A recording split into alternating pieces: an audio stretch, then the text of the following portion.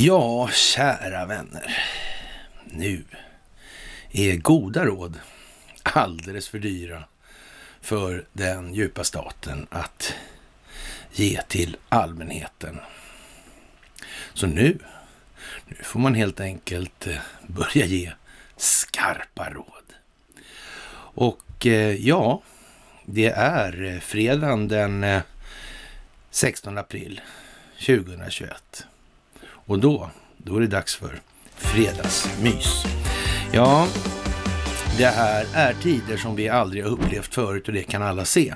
Och eh, först som sist så ska vi tacka för era fantastiska insatser. Det är otroligt att se hur det här utvecklar sig. Hur ni rör er framåt och därigenom hur vi tillsammans rör oss framåt.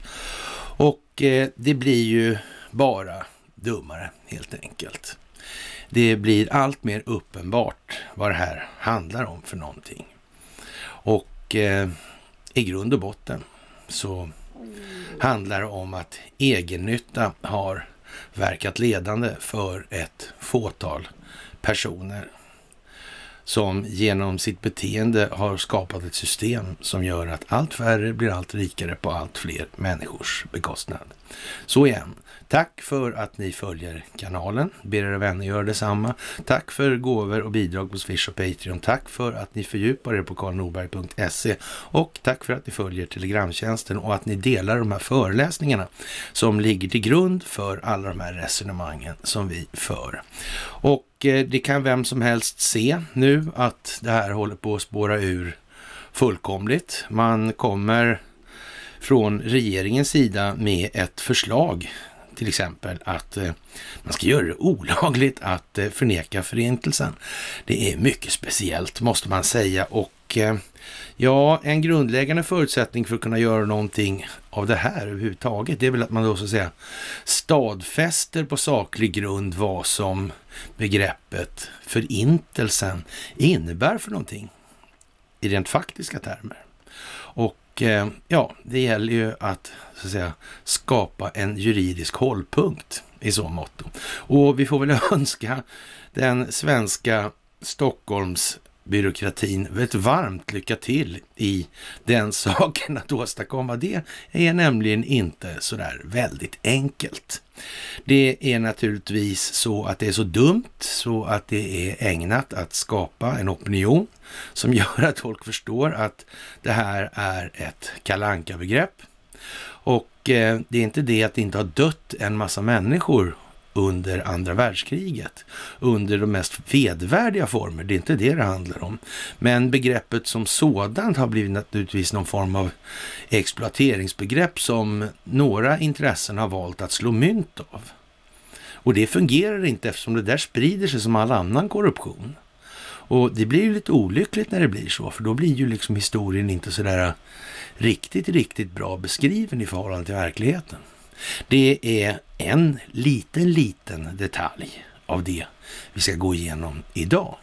Och eh, många är otroligt bra nu på att dra slutsatser, leta själva och så vidare. Och det är ju det det här handlar om. Det gäller att få andra människor att börja marschera. Och det här med att eh, vi i, ja, som håller på med den här verksamheten, just med den här kanalen och så vidare, ska göra på så himla mycket andra sätt. Det är kanske inte riktigt den skarpaste poängen man kan finna idag, utan det handlar ju om att andra människor som hakar på, det vill säga ni, ska göra saker som så att säga ni tycker är lämpliga för att få andra människor att följa med på resan. Det är det. Bjud in dem på tåget. Men den här inbjudan kan ju se lite olika ut som alla märker. Det är ju inte alltid så lätt att få folk som älskar sina vanföreställningar att bara släppa dem. Men det är ju en fråga för varje situation och varje individ att hantera. Det finns ingen så att säga jättebra schablonlösning. Det finns naturligtvis generella sätt att göra på, men eh, den måste situationsanpassas. Och det är därför det här fria tänkandet är väldigt viktigt. Man måste egentligen ha grunderna klart för sig. och kunna ta varje fråga ur ett antal perspektiv och infallsvinklar. Det är viktigt. Och eh, det blir naturligtvis mest komiskt med det här när regeringen kommer med sådana grejer. Att man ska göra det olagligt och det är väl kanske mer eller mindre självklart för de flesta att eh, om man inte hela tiden reviderar historien så kommer man ju aldrig komma fram i sin beskrivning heller, utan man, om man ställer det här är det sista liksom som hände. Jag menar, hade man inte ifrågasatt hur eh, ja, solsystemet såg ut eller hur jorden såg ut eller vad det nu var för någonting, då hade man ju aldrig kommit någon vart. Så. Och eh, makten är ju vad makten är. Makten är kraft att bryta motstånd. Det innebär att om man istället höll på med upplysning, då skulle ju motståndet upphöra om det här upplysningsarbetet byggde på saklig grund. Men det är man inte så intresserad av, av en eller annan anledning. Och det är alltid samma anledning. Och det moderna kriget består till 80 procent av informationshantering, 15 procent av ekonomi och 5 procent av kinetisk militär verksamhet. Och eh, det här måste man försöka få människor att förstå på olika sätt alltså. Och då blir ju så att säga tillvaron mera lätthanterlig i och med att man har en bättre överblick över situationen. Och vi är naturligtvis tacksamma för att vi befinner oss i kärnan samtidigt som det är en rätt så trist historia att konstatera och vi kan också se nu här att amerikanska medier börjar i en ökad, om, ännu mer ökad omfattning naturligtvis, att ta upp saker och det finns ju en, eh, ja, ett antal så att säga, mera framstående individer inom alternativrörelsen där som börjar förstå. De har till och med kommit fram till Carl Bildt nu när det gäller Balkan. Och det kan man ju tycka är ju inte sådär eh, kanske superavancerat att göra. Men, men det får man faktiskt ha i åtanke då att det är en stor skillnad på att vara svensk i så mått. Sen har vi kanske aldrig egentligen då reagerat, eller det har vi inte gjort, vi har inte reagerat i en tillräcklig omfattning när vi har ställts inför de här uppgifterna och konstaterat det ena och det andra. Jag menar, det är ju rätt många människor som under ja, ett antal år har sett då hur Carl Bildt mottas i Balkanområdet då, eller för detta, ja, restjugoslavien. Och kanske inte egentligen har funderat så mycket på hur det där kommer sig. Varifrån kommer alla dessa så starka känslor hos människor? Vad är det de vet för någonting? Vad är det de uppfattar, upplever, tror? Vad är det för någonting egentligen? Det har vi, många människor har inte liksom ja, fortfarande inte satt sig in i vad det här egentligen är för någonting. Och det är ju lite synd. Men det får ju vi hjälpa till med och vi har ju ett antal på ja, åtminstone min Facebook-sida och på Youtube-kanalen och så vidare och flera andra känner igen dem, de här namnen, som faktiskt har tagit det här till sig. Och det kommer att visa sig att det sitter ihop med Carl Bildt och Minion, David Petraeus och så vidare och så vidare i en oändlig räcka som sträcker sig hundratals år tillbaka i tiden. Och eh, det blir ingenting att hymla om egentligen. Men eh, det här har ju naturligtvis drivits av den här ja, teknologiska utvecklingsnivån i samhället och eh, telekominfrastrukturen är ju inte den minst framträdande delen i så mått. Och sett ur perspektivet av att informationshantering är den helt avgörande och största delen av det moderna kriget. Ja, då är det ju som det är. Och eh, där kan man ju säga så här att det började ju som ett CIA-projekt, EU då. Och det blev ju naturligtvis en konsekvens av dels att det kalla kriget började då och man måste ha den här historien för att backa upp NATOs närvaro i Europa med. Och det är därför man från de som, den sida som bekämpar den djupa staten är då mer eller mindre tvungna att driva det här i sin nuvarande form och omfattning och det är ju det man håller på med naturligtvis. Och EU kan förbjuda AI-baserad massövervakning och eh, det är ju ingen hemlighet att de här AI-historierna eller kvantumdatorerna då, som det mer specifikt kanske kan uttryckas som, de ägnar sig åt en hel del annat än vad folk i allmänhet tänker sig. Och eh, det är inget ont med de här maskinerna egentligen. Det är ju så att säga vem som har fingrarna på spakarna och syftet hos den eller de individerna som avgör vad det här blir för någonting. Det skulle ju kunna användas i gott syfte också naturligtvis. Så är det också. Och när det här kommer upp då så kommer det fram en massa andra saker och då kan man ju konstatera att de här biometriska data när det gäller liksom ansiktsigenkänning och sånt här, det är ju någonting som har förekommit hur länge som helst. Alla har ju sett de här filmerna på Uppdrag granskning, eller väldigt många i alla fall, när man har då fiskögat ålder och övervakningssystem till Gulnara Karimova och så vidare. Och det här in, alltså innehöll ju sådana faktorer och sådana delar redan då alltså. Och eh, ja, det var ju hedligt och bra gjort och svensk lagstiftning gjorde ju att de kunde inte fällas för mutbrott och så vidare, för hon var inte mutbar och så vidare. Men det är samma stil alltså. Det är samma, så att säga, Stockholms byråkratiska fundamenta som ligger till grund för de här utvecklingsförloppen hela, hela tiden. Och det här har ju hållit på ordentligt under lång tid och vi ser ju rätt många tecken nu nya tecken varje dag. Det kommer liksom, ja, där kom den där också, passar in där i det mönstret. Ur det perspektivet, ja men den förhåller sig till det här och den förhåller sig till det där också. Den händelsen. Och sen får vi ett nätverk och det blir bara snävare och tätare och tätare och tätare. Till slut är det en hel, det går inte att se igenom det, det går inte att se en enda annan möjlighet utanför det här nätet eller väven. Det är där vi befinner oss nu. Det är oerhört svårt att se en enda annan möjlighet än att det är på det här sättet som vi beskriver. Och det är ju naturligtvis roligt och det är ju lite tråkigt att det behöver gå så långt. Men vi ska stå på tillsammans. Ända in i det kakel som den djupa staten så gärna och innerligt vill möta med näsan först i full fart. Det ska vi glatt tillhandahålla på det viset. Det är ingen diskussion helt enkelt. Och eh, det är ju lite komiskt då när man förbjuder saker på det viset. Det är ju nästan som man flaggar för att titta inte här, titta inte här. Nej, varför inte då då? Om det är helt schysst och bra och i sin ordning och en korrekt beskrivning av verkligheten så behöver du inte förbjuda den. Står, verkligheten står väl på egna ben. Och den sanning som bäst beskriver verkligheten, ja, den klarar sig själv helt enkelt. Oavsett vem som anför den, eller är budbärare, eller pianist eller vad vi vill kalla det för. Och därför blir ju då sporten naturligtvis hela tiden från den djupa statens sida att det måste så att säga misskrediteras budbärare.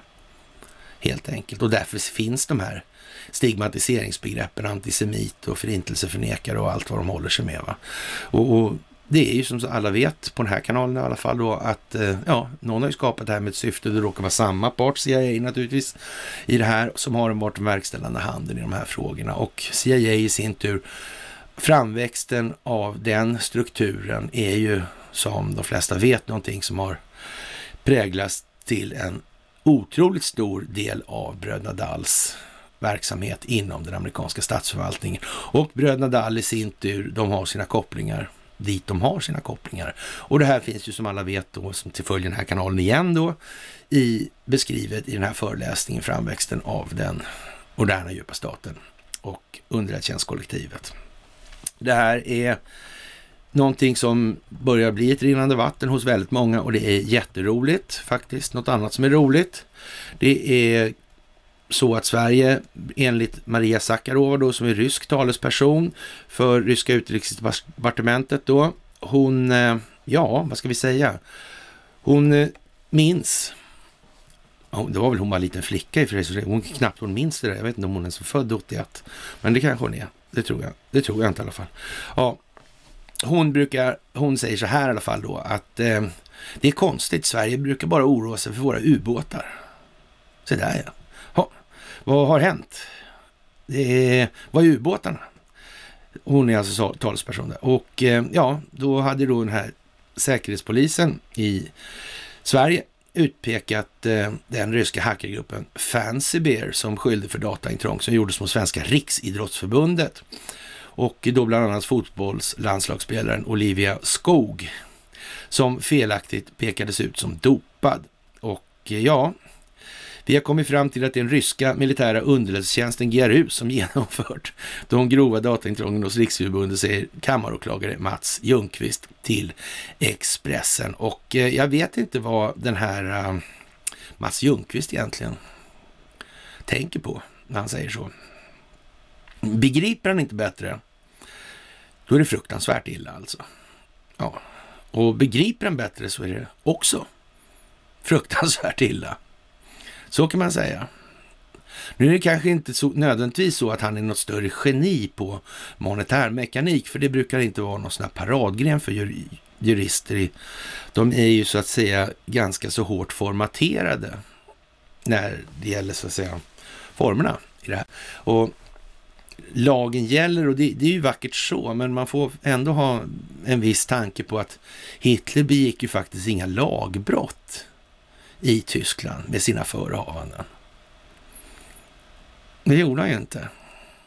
Och, och ändå så räckte det liksom inte för den personal som var då, så säga, den nazistiska saken behjälplig att hävda att man bara lydde order. Detsamma måste ju faktiskt gälla.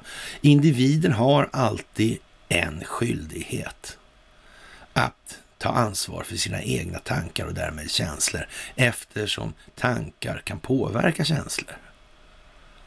Och individen har alltså ett ansvar för att utvecklas. Annars har vi det här spektaklet på halsen. Gång efter gång efter gång. Det är inte så svårt att förstå faktiskt. Och eh, ja, det är ju lite trevligt när de spelar gäck med oss. Eller driver gäck med oss. Och det är vi värda. Och eh, det är väl ingen som tror egentligen att den här kaptenen Gushin skulle till Moskva och råkade näsan åt fel håll när han körde på grund. Det är det ingen som tror på egentligen. Så ja, man får ju faktiskt tänka till lite vad det där var för någonting igen då. Men det var naturligtvis så redan på Sovjetunionens tid att det var faktiskt fullt möjligt att muta militärer även från Sovjetstaten. Helt säkert är det så. Och eh, jaha, det finns en massa olika så att säga, manövrar som sker nu i, i så att säga, hastigt och lustigt lite grann, då kan vi nästan säga. Och det här med kraftförsörjningen är naturligtvis en rätt så avgörande del i ett modernt samhälle. Och det kan man ju säga så här att när, när det elen till Gotland och privatbyggd kabel ett alternativ säger, sätter SVT upp då och då kan man väl mm, torrt kan man ju konstatera att en sån ska naturligtvis ligga i enskilda intressens händer. Det är självklart alltså. En sån allmännyttig grej måste ju bara kunna profiteras på för någon. Det är ju så. Det är liksom själva syftet med all verksamhet. Det är liksom syftet med människans liv helt enkelt. Och, och så att säga berika sig på andras bekostnad. Det är själva kvintessensen här. Det är så det här med människans fortlevnad och sådana där bagatellartade prylar, det kan vi skita i helt enkelt. Alltså. Och då kan man ju säga i analogi med det resonemang kan man väl säga så här då, då att ja men eh, alltså är det inte enklare att man bara smäller två personer smäller alla andra med ja, stora bomber och, och, och, och sen kan de göra upp med duell på slutet så blir det en man kvar då med alla materiella tillgångar på planeten. Det måste ju vara snabbare så, så sparar vi massa tid åtminstone. Ja, eller det skulle ju de som blir kvar tjäna på. Det blir mer kvar av planeten och så vidare. Ja, skämt åsido, eller sarkasmer åsido ska jag säga. Eller så. Det är ju lite tragiskt här också faktiskt. Och eh, när Carl Bildt då börjar sprattla i pressen då så Ja, då kan vi tack och lov, som vi har sagt tidigare här, det kommer att gå åt helvete för Carl Bildt. Med musik alltså. Det är ju kanske inte det är dans i Valhall i natt som gäller för hans vidkommande kanske. Men eh, söderut ska han i alla fall dit det luktar vitriol. Det är helt säkert. Och ja, i Washington Post naturligtvis då ett sånt kraftfullt djupa staten-organ så säger Carl Bildt helt enkelt att eh, de ryska styrkorna som hopar sig vid gränsen, ja, de grupperas inte eller de, man kraftsamlar inte eller någon lite mera militärt grundad term kanske vore passande om det är så att det är reguljär militär verksamhet som pågår. Nej, utan här är det så att de hopar sig. De hade vägarna förbi och ut och vingla i skogen. Och, och sen hade varit det stopp eller något, eller något så de hopar sådär då, då. Och de är knappast där på en semesterresa, säger Carl Bildt. Och det, det är ju faktiskt för hans vidkommande en, en, ett ovanligt uttalande efter, eftersom det är faktiskt sant. Och det kan man ju ge honom faktiskt till heders. Det finns numera klara belägg alltså på att han faktiskt inte ljuger om exakt allting han säger. Och det är ju en trevlig utveckling i alla fall, även om det är på förhållandevis låg nivå då, då. Och det är väl också en grej man ska tänka på i det här att Carl Bildt är ju, som vi sa tidigare då, han är ju liksom omnämnd i en rad olika sammanhang nu när det gäller då kopplingar då till ja, Brookings Institute till Atlantic Council och så vidare och ja, Anders Åsberg och, eller Åslund och så vidare och så vidare. Och det här är ju naturligtvis någonting som han kanske inte tycker är sådär skitkul egentligen, det kan man ju säga. Så och Balkan och Dominion-affärer och ja, you name it alltså. Och eh, det är ju så med den så att säga nivån på marionetaget, om vi ska kalla dem för det då, så nu kommer ju de i ljuset av verkligheten, för de längst bak, de, ja, de begriper sig på att eh, ägande, det är ingenting. Öppet ägande, det är bara någonting som är helt värdelöst för att dra ilska på sig. Och öppen politisk makt är också helt värdelöst. Och så sätter man det ur perspektivet av alltså det moderna krigets komponenter eller beståndsdelar, så kan man ju säga så här. Jo, men då får man väl hålla sig med marionetter som man styr genom de här tre beståndsdelarna. Till exempel är det, så, det är mera ovanligt med politiker som inte har några lån alls va? och därmed inte skulle vara kontrollerade av ekonomin eller av bankerna. Och sen kan man ju säga så här också, det är oerhört svårt att, alltså, vill inte bankerna så är det ju så, då, då sitter ju politikerna där till exempel. Det är ju bara så, då har de inget betalkort ens alltså. Statsministern kan ju i princip inte köpa en skjorta om bankkollektivet sätts på tvären. Och det kan man ju tycka, liksom, det verkar inte så demokratiskt. Om folket har valt statsminister, de har inte valt de där som gör att statsministern inte kan äta ens. Det kan ju vara lite svårt. Och, och sen kan man ju då, behöver man inte dra det så långt som, som, som till reguljär militär verksamhet, kinetisk då. Alltså, och det behövs ju inte, då kan man ju styra det här med opinion. Och det är klart, om man kan styra opinionen på det sättet med medier och med telekominfrastruktur i det här, jag menar, då är det inte mycket, det spelar ju liksom ingen roll vad en politiker tycker hit eller dit. Det är ju helt ovidkommande. De har inte chans, de har ingenting att säga. Det finns ägardirektiv. Och eh, det fantastiska är ju nu från igår då att det här eh, pressstödet då numera är så att säga villkorat. Och det här är ju inte för att många uppfattar det som att det här är en fråga om att man då försöker stänga ner de alternativa medierna. Och, och det, så det gäller ju samma sak för dem.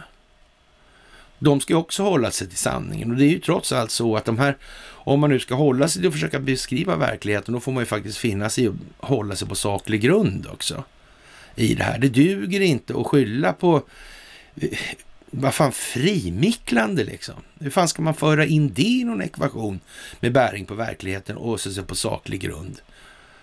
Vad, vad, är det själva närvaron, medlemskapet i en organisation då, eller vad, vad är det som gör det här egentligen? Och, och det, är det så ska vi ha kollektiv bestraffning? Ja, men varför avrättar man inte hela nazistiska försvarsmakten i så fall då? Eller krigsmakten? Och bara man tänker efter så lite så förstår man ju att det, det, det är ju liksom en viss ja, en viss lägstanivå på resonemangen som måste till va, innan det här, annars blir det tokigt. Det är bara så liksom. Och som sagt, de här my mystiska då agenderna hit och dit, det är ju mera ovanligt än man tror att man då så att säga deklarera på förhand vad det här är för någonting och naturligtvis är det någonting annat som ligger under det här då. Och eh, ja, det är som vi har sagt att för att genomföra det här så måste man ha en, en strategisk planläggning och den måste vara otroligt långt dragen. Den måste vara otroligt långsiktig och ha tagit sin begynnelse för länge, länge sedan. Man kan ju säga så här att när Jeltsin plockade in Putin så kan man väl tänka sig då att det fanns ju en tanke någonstans med det här och Jeltsin han har, garant, han har ju fått ett otroligt dåligt medialt eftermäle. Vad kommer det sig? Vilka intressen är det som har dikterat det mediala eftermälet och med vilket syfte? Vad beror det på? Ja, det är ju ingen som kan säga så här att ja, Vladimir Putin, han är populär han hos det mediala etablissemanget i Sverige. Mm. Nej, det är han inte. Men då kanske de, så att säga, som, ja, om man nu säger att man varit i farten då sen i början på 1900-talet och försökt hålla på med revolutionsverksamhet eller revolutionär verksamhet i Ryssland då. Och då de här ryska revolutionerna och rysk-japanska kriget, de här grejerna som vi går igenom på de här föreläsningarna. Men då kanske man ska tänka sig för lite grann här alltså. Då kan man ha haft en långsiktig planläggning i det här alltså. Det kan vara så alltså. Eller rättare sagt, det kan i alla fall inte uteslutas att det kan ha varit så. Så kan vi säga, så vi inte sagt för mycket i alla fall. Och eh, vi har sagt att då går det åt en hel del så att säga, spelare som förespel, för, eller så att säga, om man nu ska motverka den här grejen som är så långsiktigt planerad, då måste man ju så här, planera ett steg längre. Och då måste man ju så att säga ha spelare för det också, som spelar givna roller inom det här spelet med alla de här perspektiven och så vidare. Och då, då blir det ju naturligtvis så att en sån som Nikki Haley var ju då en riktig katastrof när hon kom. Och hon framstår fortfarande som en riktig katastrof i de flestas ögon, det är det ingen diskussion om. Men det var ju det att det gick inte så lång tid så upptäckte, kunde man ju upptäcka då att det är ju så in i helvete dumt det där. Hon, hon, hon, gör, hon gör, ju, gör ju saker och säger saker som bara hjälper Donald Trump. Liksom. Hon ska liksom vara tvärs emot här på något vis. Det är ju jättekonstigt. Det är konstigt alltså. Och, och det är många som har sagt att det är väl, det är väl få, mycket, eller få människor som har gjort så mycket för att hjälpa Donald Trump som Jerry Nadler till exempel, som är en makalöst osympatisk person enligt mitt förmenande. I alla fall. Men det kan ju mycket väl vara så att så där osympatisk, det är ju fan inte trovärdigt att vara helt enkelt. Det måste ju liksom strategerna på Demokraternas högkvarter veta om alltså. Och jag ska slå ett slag för någonting som jag aldrig slår slag för annars och det är ju de här serierna på Netflix där det ibland har tänkts till en hel del angående hur olika roller gestaltas och sådana här vidare. Det finns en dansk serie som heter Borgen och så finns det en spindoktor där som heter Jul. Och det kan vara värt bara att titta på något avsnitt och se hur ja, så att säga, kravprofilen på en sån här individ är. Och det vore faktiskt tacksamt om många människor, eller många fler människor, tog till sig det här att det sker en jävla planering i de här sammanhangen. Verkligheten överträffar dikten, så det där med borgen, det är väl bara förnamnet på hur det här går till i verkligheten. Så även om ja, Anders Lindberg ser ut som en liten lismande byfåne så är det helt säkert att den här fula skjortfärgen med de där snibbarna och det här, det är millimeterprecision i det här. Millimeterprecision. Det här med att han är så dum. Och man kan ju säga så här att frågan är alltså vad en sån som Marcus Oskarsson egentligen är för någonting. I hans fall så nästan så tror vi nog ändå att ja, han har stackel och det tror vi för övrigt också att Anders Lindberg har haft det för hans fru Åsa där har ju faktiskt varit EU-Åsa i miljösammanhang och koldioxidfrågor. Så ja, han har tjänat en hacka liksom. Så. Sorry liksom. Ja, hur som helst. Nikki Haley tycker att det är nog dags att stödja Donald Trump om han i valet 2024 då om han tänker sig att ställa upp och hon tänker i alla fall inte ställa upp mot honom om han gör det. Och det kan man ju säga är ju ett erkännande av rang. Det är ju lite speciellt naturligtvis eftersom så borde man ju inte alls säga. Men eh, ja, man börjar alltså plocka ner kulissen dessutom nu. Så det är inte bara ljuset som kommer bakifrån som exponerar vad som egentligen sker där bakom, utan nu, nu plockar man ner framkanten också, framsidan. Och det är ju lite annorlunda, det har vi inte sett förr. Och eh, det är ju lite så att det duger ju inte att bara så att säga plocka ner den här Stockholmsbyråkratin med så mått. Den har ju så att säga spritt sig ut i ekonomin då i Sverige. Och där är det ju så att det är ju inte så jävla många i det här landet som är obekanta med hur det går till med uppköpare på stora bolag eller statliga instanser eller ja, statliga företag och så vidare. Och underleverantörer så att säga tillhandahåller vissa förmåner då för att få ett kontrakt. Det är ju liksom ingen... Det vet alla att det är så. Och det här är ju ingenting som man från alltså säga, utländsk sida helt kan ignorera. Det går inte. Om man nu har ett problem med den här kärnan i djupa staten som befinner sig här i Sverige genom sin kontroll av kraftförsörjning och telekominfrastruktur och har så att säga bedrivit kolonialväldes exploatering över hela planeten hur länge som helst. Och man vill adressera det problemet och länder kanske vill ha tillbaka sin självständighet i, i alla fall en större utsträckning än vad som idag råder. Ja, då vill det nog fan till att man gör någonting åt den här kärnan också. Det är ju så. Annars kommer man ju aldrig åt det, givetvis. Och då är det ju så att om man har varit där i hundra år, ja men då har man nog etablerat en rätt så, vad ska vi säga, stadfäst korruptionskultur helt enkelt. Det har man nog sett till och där har så att säga hållhakar inte utgjort någon obetydlig andel i alla fall. Det är helt säkert. Och eh, ja, det här gäller ju alltså när man talar om till exempel tung industri och de här stora företagen, där är ju så att säga underleverantörsleden särskilt känsliga och det bygger ju har ju byggt så att det här är ju hela samhällen uppbyggda i Sverige runt de här grejerna. Och det här går inte att ha kvar på samma sätt. Man måste ta bort huvudet på fisken som är ruttet så att säga, men man måste skära bort. Och man måste helt enkelt kanske ta en ny fisk. Sådär som inte är rutten och så får man se till att huvudet inte ruttnar först. Ja, och sen måste man ta bort de här grejerna som man så säga har korruptiva eller korrumperade inslag runt det här. Och det är ju en enorm apparat naturligtvis. Och då är ju så att säga planläggningen bakom det här, det är ju inte något man hittar på när man råkar bli president av en slump och tillfällighet i USA. Det går ju inte. Det är ju vansinnigt långa perspektiv och långa sekvenser.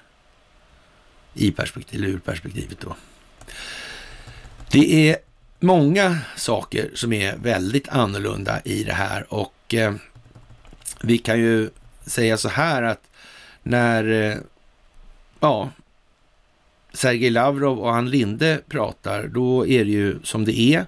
Och eh, det är kanske inte sådär eh, jättekul för Ann Linde som är också en sån här figur som inte är alldeles glasklart ja, om det är något frivilligt, allting är ofrivilligt eller vad är det för någonting?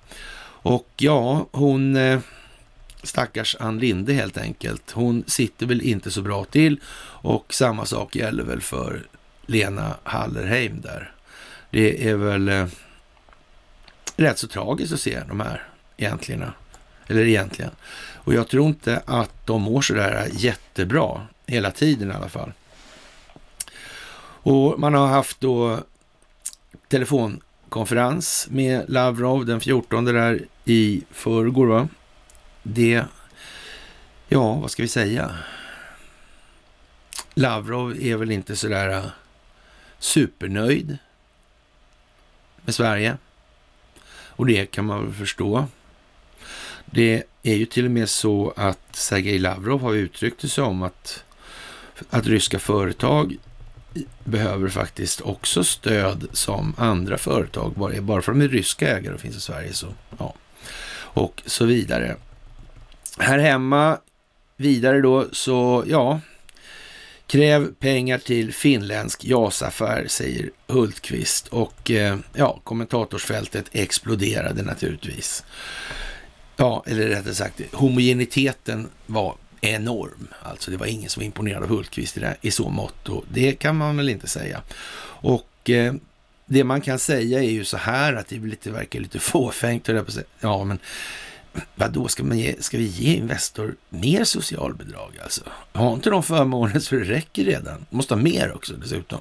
De ska ha alla förmåner såklart. Ja, vad bra. Det verkar trevligt faktiskt. Eller så inte så trevligt. Jag tror att eh, många tycker att det är jävligt dåligt med de här grejerna. Faktiskt, jag vet att det är så. Och Eh, många börjar tycka att det är fantastiskt konstigt med de här, eh, ja vad ska man säga, avarterna. Att varför har ingen sagt något? Ja, det är vår egen dumhet varför ingen har sagt något. Det är ju bara det. Det är vi som har varit lata. Det är vi som har valt de här människorna till att och liksom representera oss och föra vår talan i det här. Och det duger ju inte alltså. Vi måste ha högre politiskt engagemang än att vi ger folk mandat att tala för oss. När de inte har något vettigt att säga. Det är ju bara så. Vi kan inte hoppas på att de ska säga något vettigt. Och konstaterar då efter 55 olika val då, så kan vi, eller hur många det nu är, så ja, det blev ju inget bättre. Det blev ju bara samma hela tiden.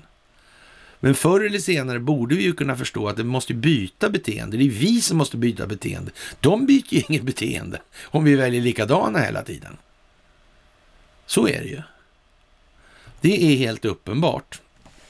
Och jag tror att det är ganska långt gånget till det här. Det är många som förstår att det spelar liksom ingen roll om man röstar på ett parti i riksdagen. Det gör ju inte det. Det händer ju ingenting. Och det har inte hänt något någonsin. Så vad skulle hända? Det är ju bara liksom, ja, och som vanligt då, det är ju ingen som så att säga adresserar de delar som det moderna kriget består av i det här på det sättet som måste göras.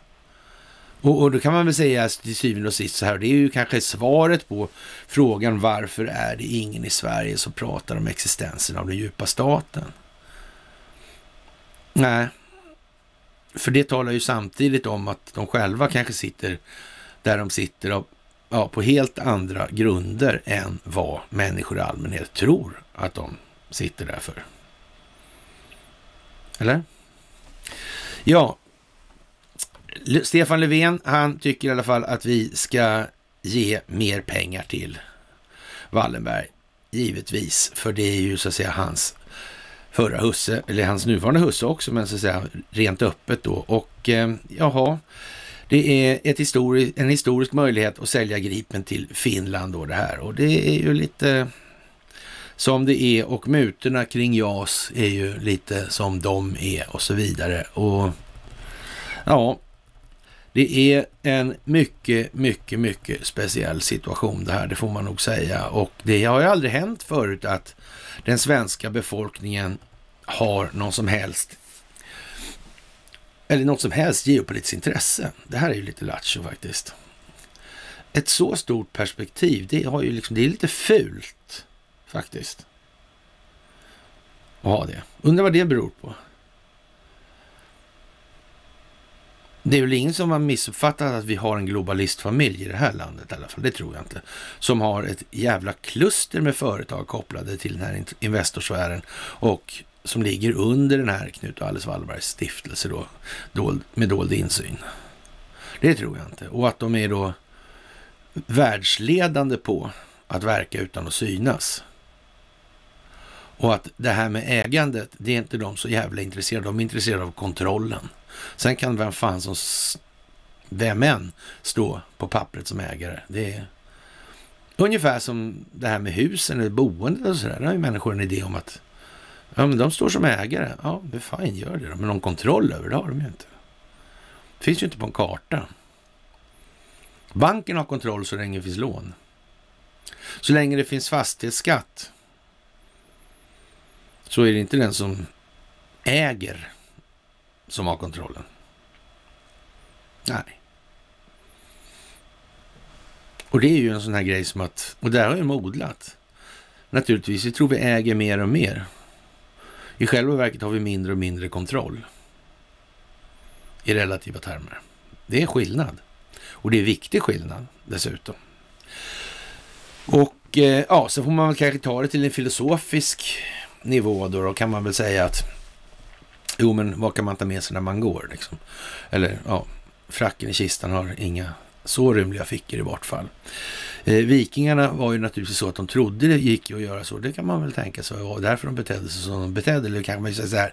Det kan ju snudd på vara en nidvisa och säga att de grävde ner båtar och halva byn då för att ta med sig när de skulle till Valhall då. Ja.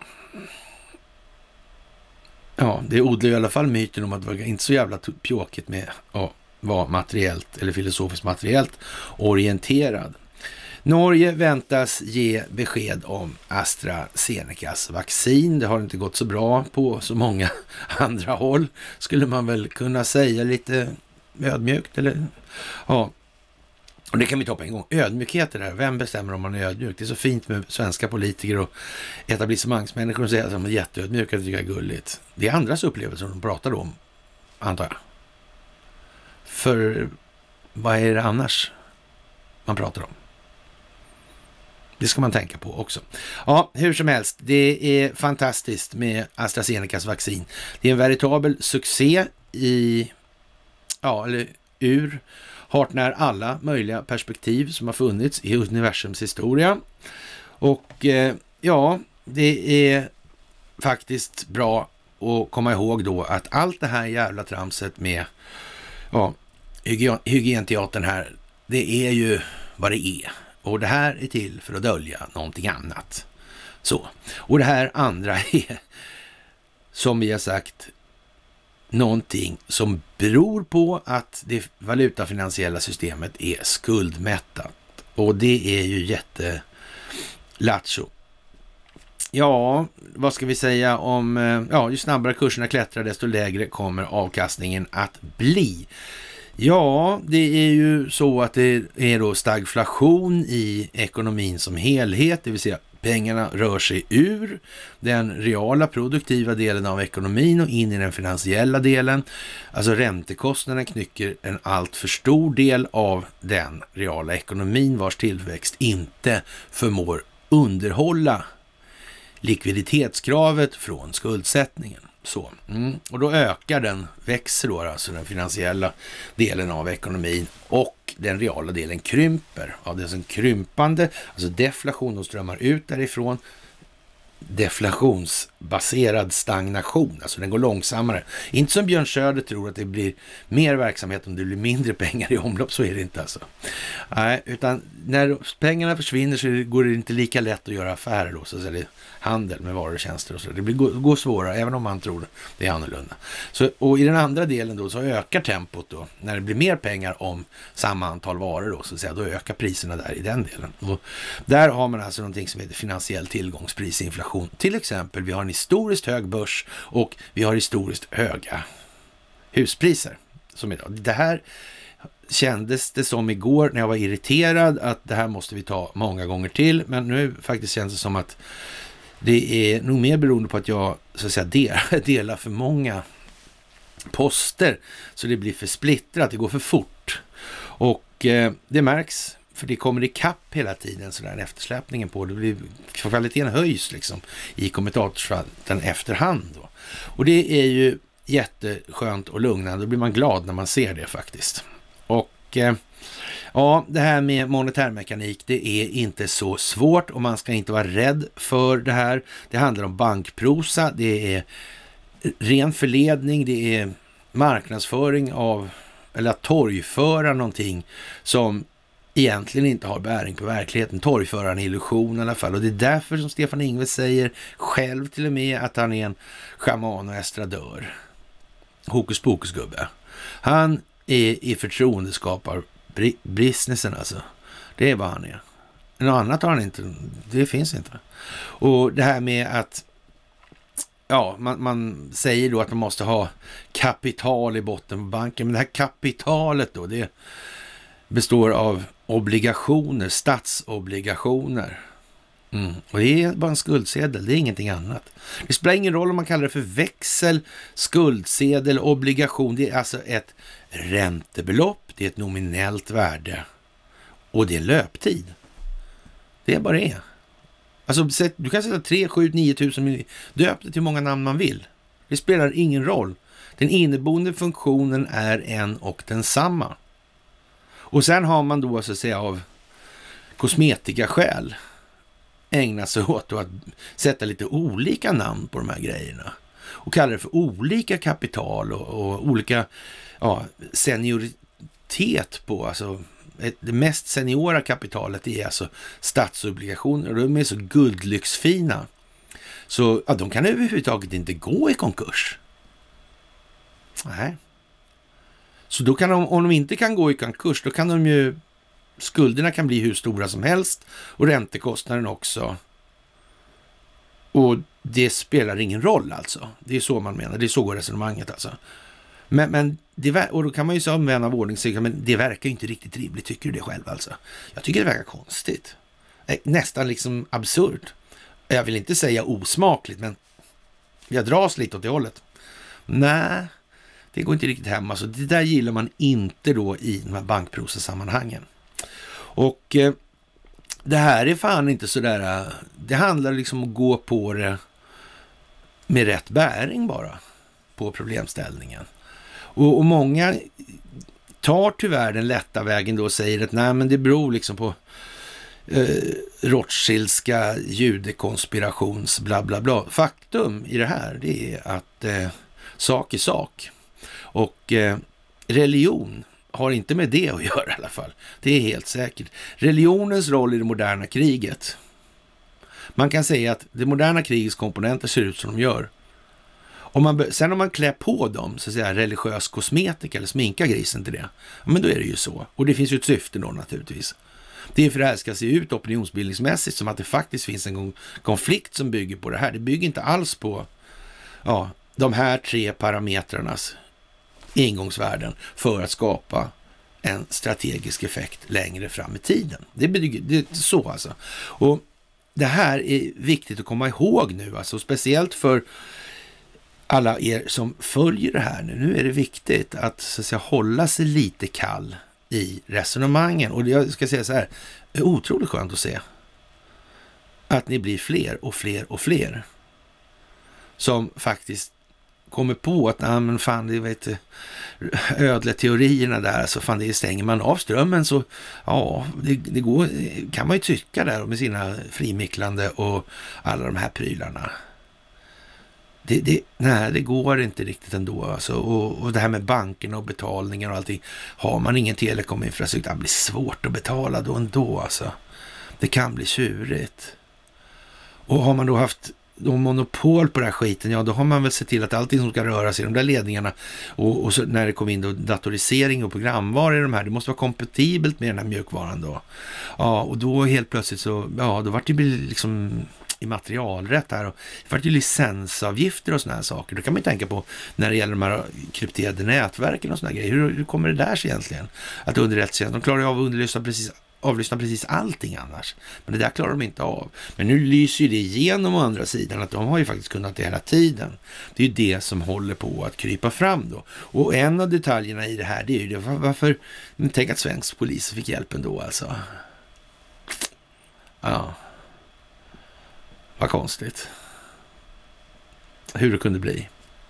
Hur kan det här komma sig egentligen? Ja, men det är det gamla vanliga helt enkelt. Det är underrättelsetjänstkollektivet igen som håller på, för det är nog bekant för de flesta att underrättelsetjänstkollektivet håller faktiskt på med narkotikahantering också då, så de är med, ja, en till visshet gränsande sannolikhet inblandade i det där på en skala som är helt annan än vad människor i allmänhet uppfattar det som. Ja, ni ska inte ta det personligt, säger Donald Trump när ni blir lurade. Det är så att de här människorna i djupa staten, de blir också lurade. Och eh, sanningen är den att eh, han spelar verkligen inte så mycket golf. Han eh, är lite för upptagen med att eh, styra världen. Det är Michael Flynn som har delat det och eh, som vi har sagt, det är föga trovärdigt att man ger sig in i det här utan att i hans fall då ha kvantumdatorer också. Det hade han från början och så att säga, de här stod på plats och var operativa. Alltså var det någon som hade driftsatt dem med ett syfte och det kan till och med vara så illa att det har planlagts tidigare då eftersom de redan fanns där innan han blev vald. Så kanske någon tänkte på det en stund tidigare och redan där så att säga vet vi att ja, det är ju någon som har hållit på en stund här alltså. Och det kan man ju hålla på sådär länge och så kan man se olika saker som har hänt då parallellt i sekvenserna då. Då Ja, det har hållits på en bra stund helt enkelt. Och eh, som vi sa då, det här med, med Ryssland, då, det är ju inte så att man inte känner till från rysk sida eller från tidigare sovjetisk sida vad som var egentligen motorn bakom de här revolutionsförsöken och den sedermera ryska revolutionen som ägde rum 1917. Och det här är som sagt det vi går igenom på den här föreläsningen. Och eh, ja, det är ju som det är helt enkelt. Och man måste försöka tänka ur de kringliggande perspektiven för att säkra upp sin egen tankemodell för det här. Och så kan man ju, alla människor kan ju olika saker i det här, men det gäller ju så att, att vidga sitt eget nät i det här, eller sin egen väv av sin bild av verkligheten då. Hur det här hänger ihop. Och därför är det inte så bra att, så att säga, enkom fokusera på en sak som det här är frimicklarna och sen spär man på med lite andra sådana här, obs, ja vad ska vi säga, lite obscena, ska jag inte säga, men ja, lite vidlyftiga historier eller teorier om hur det här egentligen fungerar och går till. Faktiskt. Och ja, det är uppenbart att man klarar av att lyssna av folk och så vidare, men det tänkte frimurarna på innan de började då med det här. Och nej, det gjorde de inte helt enkelt.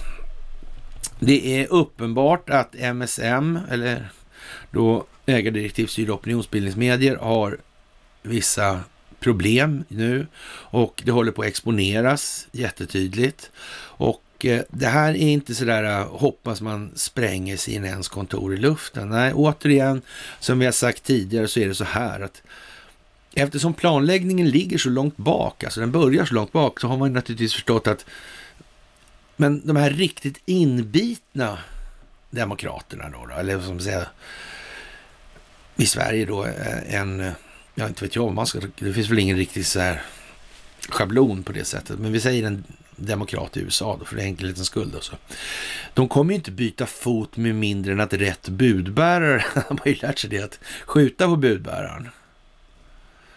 Det har de ju lärt sig. Alltså. Det är ju det som gäller. Ni måste ta ner den här människan, alltså trovärdighetsmässigt. Ni måste kalla för antisemit, förintelseförnekare och all den här andra evjan då. Ni ska inte prata med honom i sak eller henne då, utan ni, ni ska faktiskt ge er på misskrediteringsuppgiften med hängivenhet. Alltså det är det. Och då går det ju inte om man säger, ska du ha de här människorna att svänga, eller ska vi ha de här människorna att svänga, då måste vi så att säga ha ett rimligt ja, så att säga, trovärdigt språkrör om vi inte ska så att säga, låta dem vänta till sist och de tvingas över så att säga. För det kommer naturligtvis bli så också. Till en stor del också naturligtvis. Men, men hur som helst, man, innan man befinner sig framme i den brytpunkten, som vi för övrigt nästan är framme vid nu, då kan man ju vara bra att ha då rätt trumpeter eller rätt sådana här grejer. Och det kan man väl säga så här att CNN är ju bra på så sätt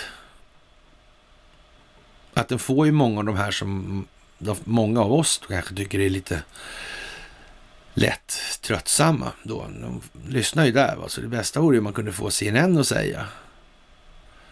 Först kanske bevisa att CNN ljuger rätt rejält om olika saker. Ungefär som sin strategiska partner Expressen inom Bonnierkoncernen som är kopplad till Investor så det räcker och blir över. Mm.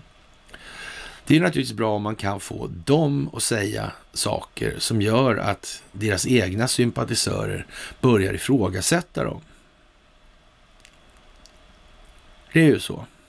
Och sen kan man ju till och med varva med på den sidan då alltså sånt som är direkt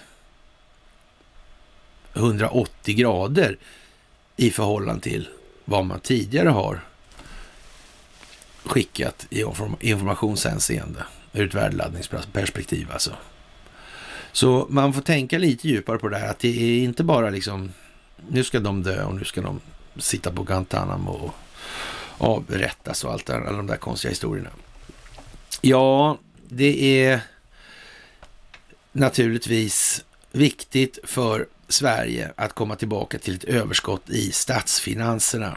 Och eh, ja, man kan väl säga så här, när amerikanska ekonomer säger så här att det är faktiskt bara att köra på det här med skuld.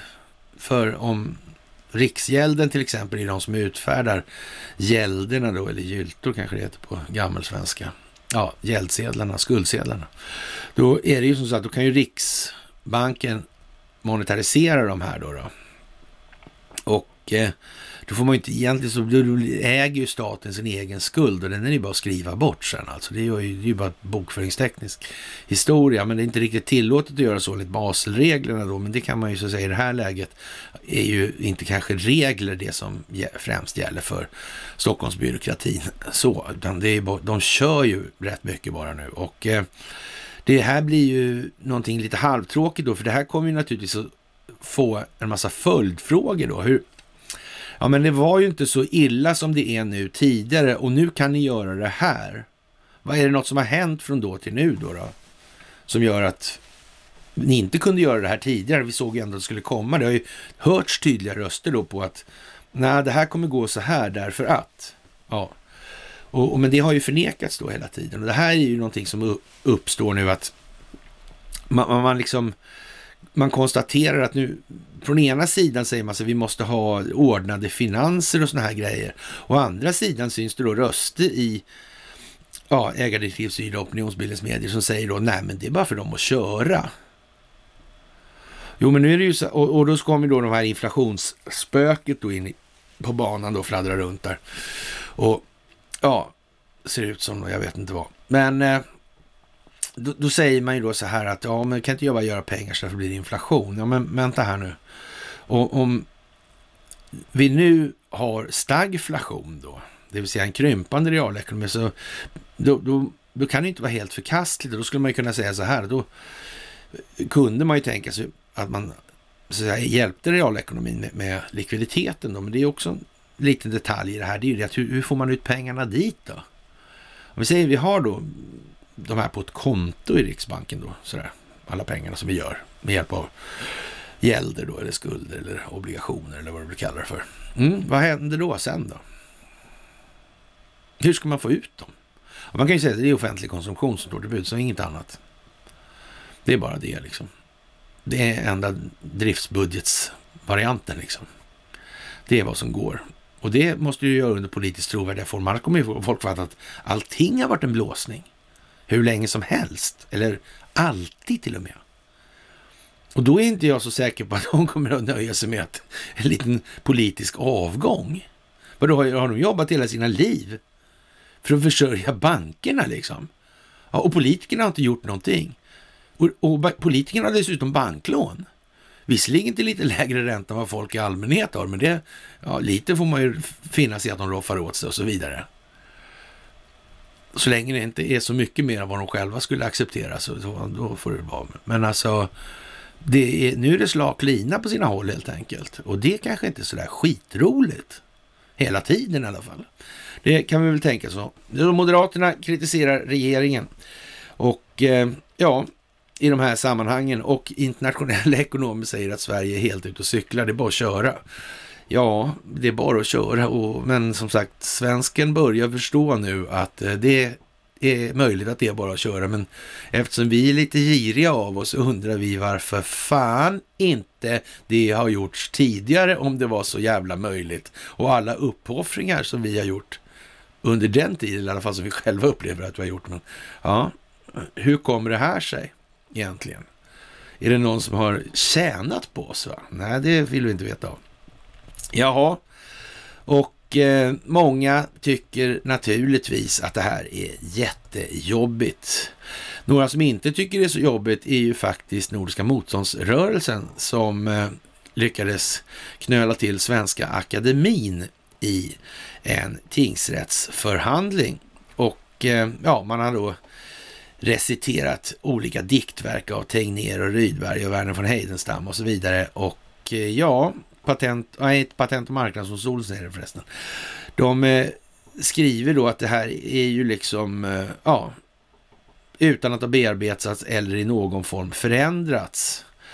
Det är ju liksom ingenting som man rår på helt enkelt. Det är var mans rätt, eller det är en vars rätt att göra så. Och det kan man ju säga är ett tecken i tiden att det svenska rättssystemet faktiskt inte kan vara så populärpopulistiskt som det har varit. Och det är också en lite sådär slak lina att gå på, för det går inte att alla tappar förtroendet för rättssystemet på en gång. Va? Det, kommer, det kommer att bli livat. Så roligt ska vi inte ha det, det är helt säkert. Även om många tycker det vore roligt. Och det är ju klart, liksom, de blir man förbannad i diskussion, så här, då kan man ju säga så, så, men då så. Ja, men då ska vi ha konkurrens och då kör vi fria kriget liksom. Men det är ju jätte, då, inga konkurrensbegränsningar alltså. Ska man ha konkurrens, så, då är det ju bara löjligt att liksom hålla på och rigga till det där för man själv ska tjäna mest på det. I form av konkurrensbegränsningar av andra. Det är såklart, är man för konkurrens, då måste man ju vara för, för det fria kriget. Mer fritt, fri konkurrens än så. Det finns inte. Man dödar helt enkelt alla andra. Och, och därför så nästan alla människor förstår ju att det där resonemanget är ju liksom Ja, det ska man helst hålla för sig själv när man är förbannad. Och, och, och sen ska man försöka tänka igenom det så många gånger så man inte blir förbannad på det längre. Om man inser att nej, men det där är ju inte så där jävla genomtänkt helt enkelt. Det är liksom... Ja, men så då. Och eh, vi får väl se om folk tar reson. Finansministern kör över Riksrevisionen. Ja, det är ju som sagt återigen samma tema. Det är ju Riksrevisionen får, har vi då eh, i det här landet då, de, Riksrevisionen det är de här alltså som ser till att utrikesdepartementet har en välordnad bokföring och Sida också och så vidare. Och så. Det har de ju lyckats väldigt bra med. Och åtminstone då sen eh, systrarna Enboms faders dagar som chef för Riksrevisionsverket. Och det har ju inte varit en enda skandal i de här sammanhangen någonsin whatsoever, framförallt inte med Sida de här reviderade delarna. Så det kan man ju tycka att, eh, att köra över Riksrevisionen, det verkar ju vara någon form av moralisk plikt helt enkelt. Med tanke på hur de här systrarna Enbom och den här kopplingskartan ser ut. Men om eh, medborgarna är maximalt skuldsatta, vad händer då? Vad måste man göra? Jo, alltså det är ju den totala skuldsättningen i ekonomin. Det är återigen det här att, eh, som vi sa tidigare, det här med att, att skapa pengarna då i Riksbanken så att säga då. Och sen så genom gälder eller gylter eller obligationer eller skuldsättning, vad kallar du vad du vill. Liksom. Så. Det är ju en sak, liksom. måste du driftsätta dem där också på något vis. Ja. Men det är också så här att om medborgarna redan är maximalt skuldsatta, då, för vi har ju gjort så här i Sverige, eller Sverige har gjort så här, eller Investor har bestämt så här att nej, det är bättre att ta den maximala skuldsättningen ur ett strategiskt perspektiv på individen så tidigt som möjligt. För man har hela tiden vetat att det här ska bli skuldsatt, eller skuldmättat. Det har man ju såklart alltid fattat. Ja, och då är det bättre att ta skuldsättningen på individen privat. Alltså man, man gör en psykosocial formatering eller får människor att tro att de är rika och att de äger sina hus. Ja, och att de kommer bli ännu rikare eftersom de här huspriserna, de kommer faktiskt öka för alltid. Och se bara nu här, fast det är så dåligt överallt, så är vi rikare än någonsin, tycker Svensson. Och dessutom ivrigt påhejade av medierna som säger att svenskarna är rikare än någonsin. Hurra! Det är fest. Det kommer bli en konsumtionsboom. Ja, boom kommer det bli alldeles säkert. Men jag vet inte om den består av någon konsumtion riktigt. Så det är inte så exakt så att räntekostnaderna bara försvinner ut genom fönstret. Så är det ju inte. Nej, och, och, man kan inte bara börja ta bort allt det där, för då faller ju trovärdigheten direkt. Då kommer ju folk, och det är ju nackdelen med det alternativet, det är ju det att folk blir ju misstänksamma direkt alltså. Ja, men nu går det bra. Men hela mitt liv då? Vad har jag haft för jävla liv som en konsekvens av det här? Alltså det är lätt att tänka sig att Svenskens själsliga disposition gör gällande att en viss inte obetydlig hämndlystnad skulle kunna tänkas uppstå på sina håll i stugbackarna. Faktiskt. Det är ju kanske inte så bra. Ja, men i alla fall.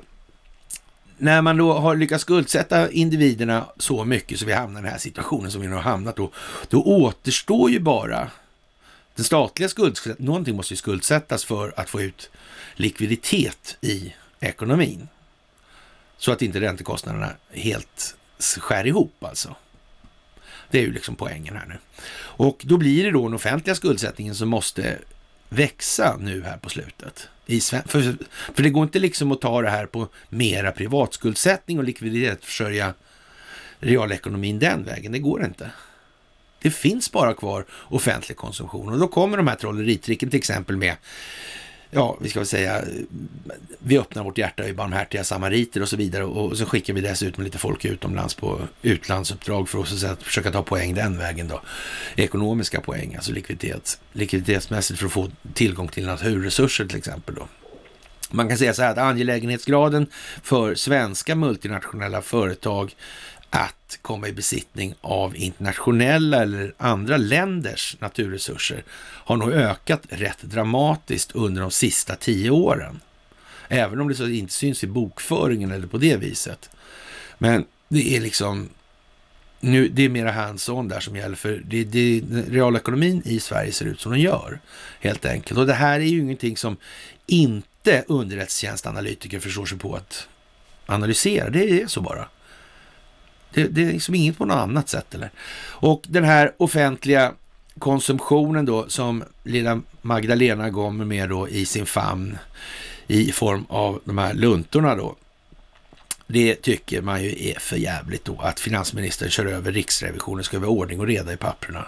Och det är ju också en fråga då, vad begriper de här människorna som skriver sådana här saker egentligen? Det är ju lite märkligt. Det är ju lite märkligt. Ja, men det är som sagt, vi får, ja, vi ser ju det här framför oss hela tiden. Ni, ja, ni har ju alla sett de här då, att svensken är jätterik nu och, och, och så vidare, allt det här. Och det är ja, det är precis det som vi sitter här och säger, eller jag sitter här och säger nu. Alltså det beror på det alltså, och inte så någonting annat. Och herr Joe Biden, han är ju en riktigt bra kille alltså. Och eh, det är ju Kajal Marcus också alltså. Kajal Marcus är fantastisk alltså. Just nu, eh, det var igår, eh, USA vidtar en rad åtgärder mot diktaturen Ryssland. Trumps gullande med Putin är över. Okej. Okay. det är så det är. Ja, ja, det är så det är ja, Kajal Marcus. Det är ju lite perfekt alltså. Kajal Marcus han fick 739 likes på den där då när jag tog bilden, 83 kommentarer, 8 delningar när jag har haft den i en, ja inte ett dygn i alla fall, men inte så många timmar som ett dygn, men jag tar, ja, vad det nu kan röra sig om. Så har jag 460, 137, 37 då och då kan jag säga att jag tror inte Kaj Ahlmarks statistik är riktigt ärlig. Så man kan säga att för Kaj Ahlmarks vidkommande så är det rätt många som tycker att Kaj Marcus är rätt mycket ute och cyklar. Och det är frågan om Kaj Marcus gör det med, med eller utan halsband och eh, jag vill påstå att det är nog halsband på där. Det är för jävla dumt helt enkelt. Och ja, det finns ju alltså en rad och det här är ju sånt som man ska tänka på att eh, det här som kommentatorsfälten som blir i det här, det är ju själva poängen med hela det här. Det är det som är resultatet av upplysningen. Det är reaktionerna som skapas som man kan mäta då och se hur liksom det här... Och man kan ju säga så här, det är inte så många på ja, till exempel min Facebook-sida och, och, så som tycker att eh, det här är inte någon höjdare helt enkelt med Kaj Ahlmark. Han, han, han, är ju fan rätt dålig alltså. Det, det är ju bara så helt enkelt. Och det får man nästan säga att eh, det är så dåligt så det är svårt att tro att det är på allvar faktiskt. Det vill jag nog säga.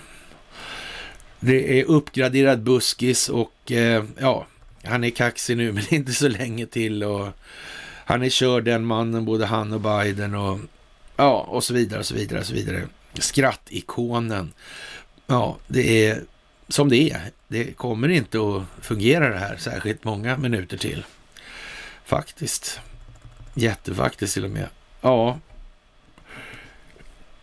Vad är det för jävla smutsfolk som läser hans sida ens? En mindre kommenterar. Enigheten är fantastisk helt enkelt. Det, man, man, man ska nästan säga att det är oerhört svårt att tro att människor som är så eniga och så starkt känslomässigt förenade i sin uppfattning kan existera i samma rum som man. Det låter, när man tänker sig att man sammantaget, har man fått så många människor att reagera på samma sätt så här, eller bli så homogena i uppfattningen, då är det svårt att tro hur det ens är möjligt. Att liksom det helt omvända, kontrakursen, kan existera. Ja, det kan man ju säga så här om man ser direkt att det är en skock idioter som inte begriper någonting. Men nu är det ju inte så riktigt med, med just den här publiken som vi tillhör då, eller ni då i det här fallet. Så det är ju faktiskt inte analys som är er sämre gren i förhållande till befolkningen i gemen. Det är ju helt uppenbart. De kan ju inte räkna upp så himla mycket om någonting egentligen. Så det kan inte vara så att de sitter på rätt sida i så att säga, stakethänseendet då, då, eller gränslinjedragningen i vart fall. Ja, med Joe Biden så kan man ju tycka det är tragiskt. Jag tycker det är mellan varven i alla fall. Men eh, det är väl lite, ja.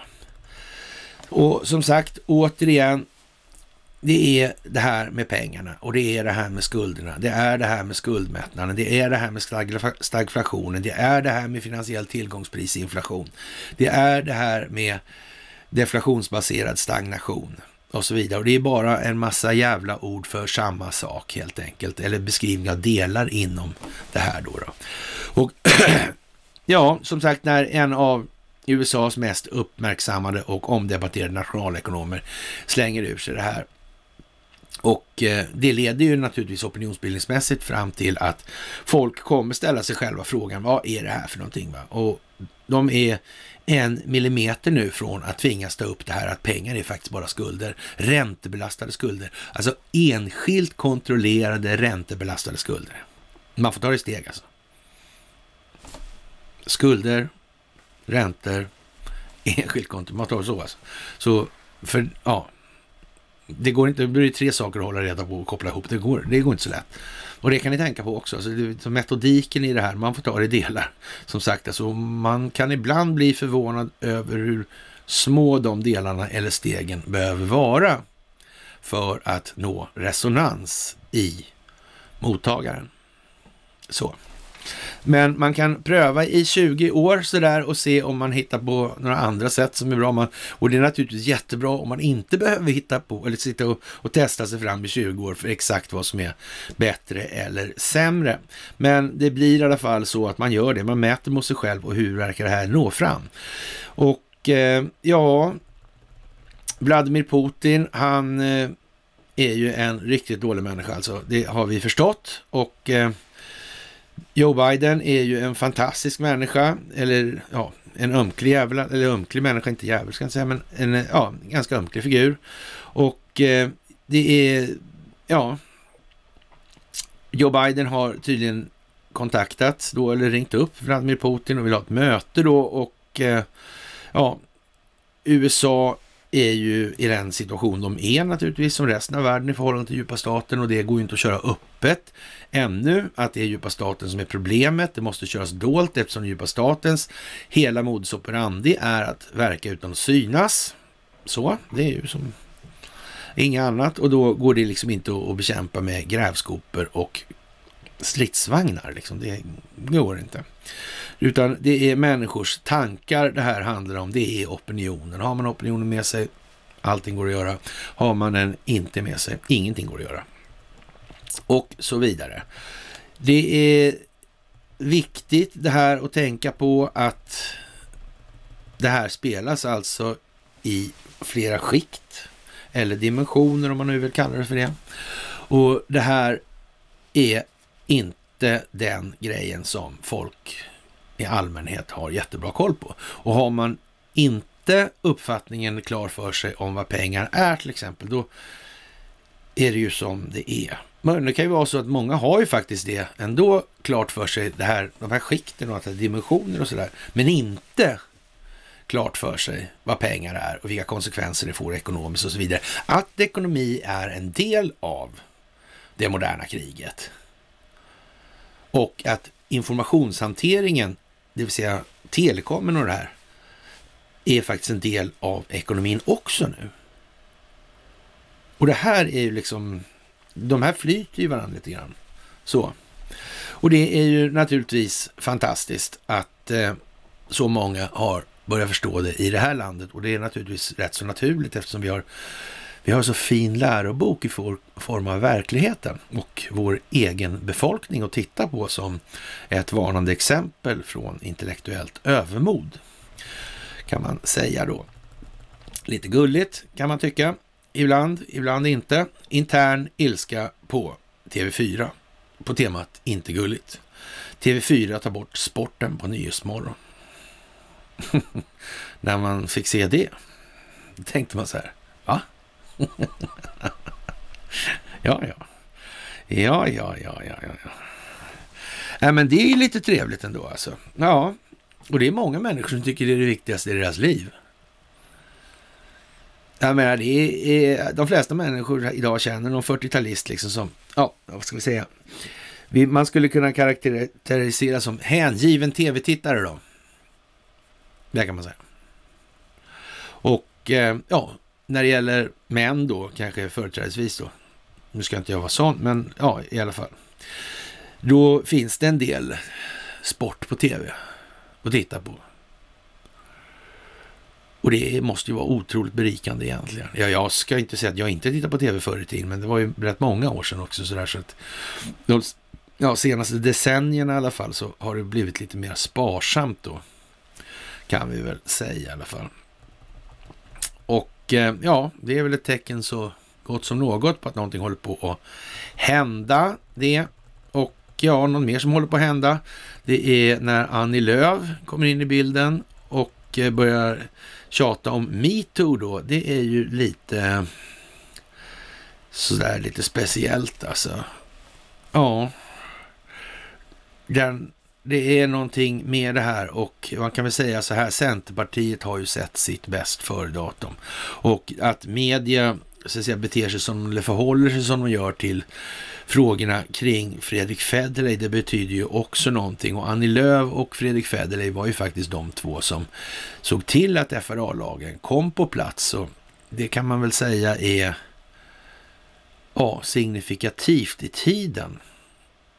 Och eh, ja, vad ska vi säga egentligen? Det spelar ju ingen roll vad man röstar på i det här sammanhanget rent politiskt. Så är det någon som inte har förstått det fortfarande så pågår ju de här utredningarna om röstfusk i USA och de har nu nått det stadium där den tekniska bevisningen är befintlig. Och nu mal det här bara vidare underifrån. Och eh, då kan man väl säga så här att ur ett politiskt trovärdighetsperspektiv så är det väl inget eh, särskilt överraskande drag då att man nu försöker stöpa om den högsta domstolen, för den högsta domstolen verkar i alla fall sitta lite löst till då.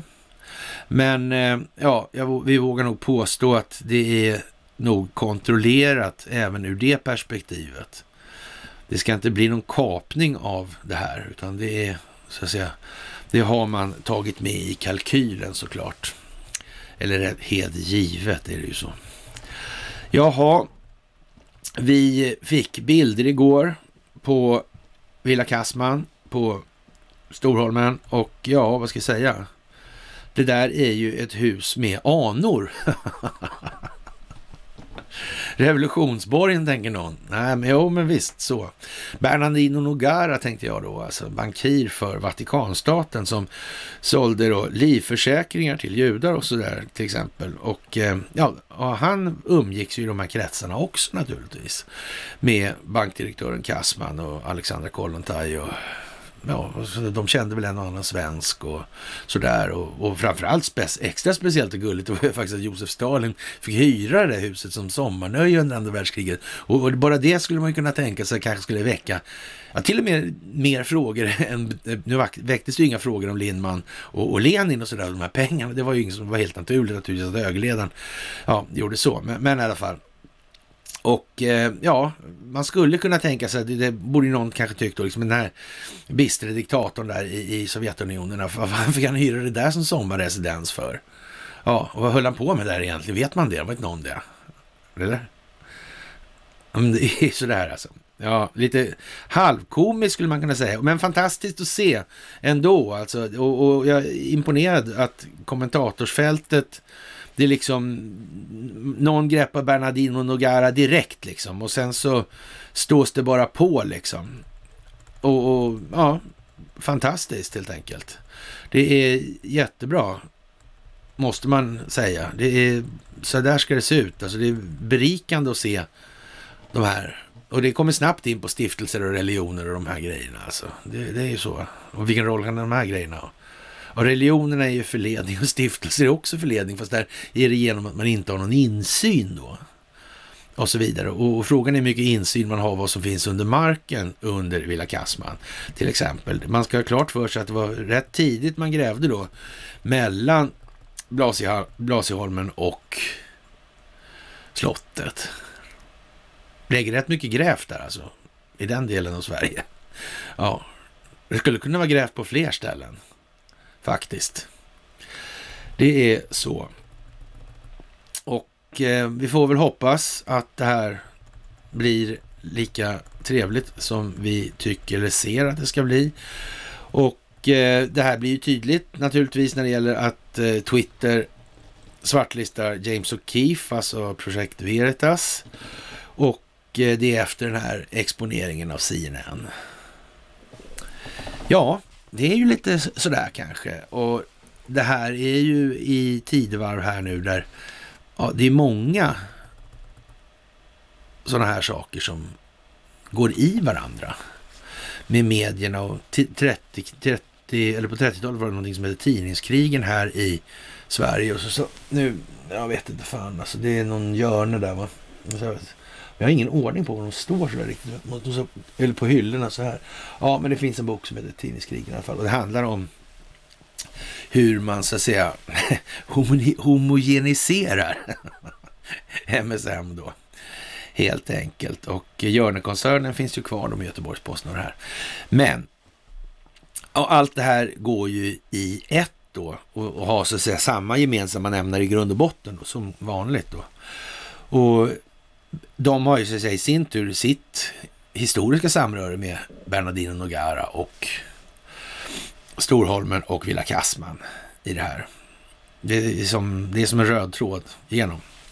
Det är ett litet nätverk skulle man kunna säga. Ja, och eh, naturligtvis Telegram går ut med att eh, det har blivit lite avstängningar på Facebook då, då. Samtidigt sker det och det är ju lustigt i tiden kan man ju tycka. Och det gäller då en artikel i New York Post angående Black Lives Matter. Och Facebook betedde sig jättelustigt igår när man skulle... Det var mycket speciellt faktiskt. Eh, annars är det bra saker som Facebook gör också nu. Det ska man säga så här, den rensar troll i vänlistan av sig själv och, och sådana där grejer. Det är ju lite trevligt. Måste man säga. Så har det inte varit förut. Nu är det så. Och eh, ja, Kreml tycker då, och vi, det är inte så långt från Villa Kassman till Kreml då i så att säga kopplingsvägen då. Och eh, ja, Kreml tycker att lite pingpong eh, eller symmetriska mot, eller kontringar då, eller vad man ska kalla det för, som de här nya antiryska sanktionerna från Washington. Och det kommer vi alldeles strax till, för det är ju inte sådär särskilt mycket väsen emellan, så att säga. Och eh, ja, vi kommer att vänta på några specifika beslut från, att, från Washington officiellt tillkännages. Eh, vi skulle verkligen inte vilja agera utifrån Lenins formel ett steg fram och två steg tillbaka i, vår bilat i våra bilaterala relationer förklarar då en herr Peskov för Kremls räkning då. Och det är väl lite så faktiskt. Men eh, de här sanktionerna är ju precis av den arten då naturligtvis. Så att det är just det som Kreml vill genomföra men inte kan genomföra utan att ha en anledning. Så då. Det är liksom en uppbollning här, alltså. ett inspel. Och eh, ja, man klargör först då liksom att man tänker göra symmetriska grejer här och lika och så vidare. Ja. Och sen gör Joe Biden någonting som visar sig vara det exakt som Kreml vill göra. Och som egentligen inte spelar någon roll för Ryssland om de gör mot Ryssland, men som spelar en jävla roll för USA om Ryssland gör mot USA. Eller mot den djupa staten. Och för, alltså djupa staten i Ryssland och i USA då. Och det här är ju någonting som är bra att ta fasta på faktiskt. Det är det man också kan ta fasta på. Det är att eh, MSM försöker gräva sig till Kina här i Sverige.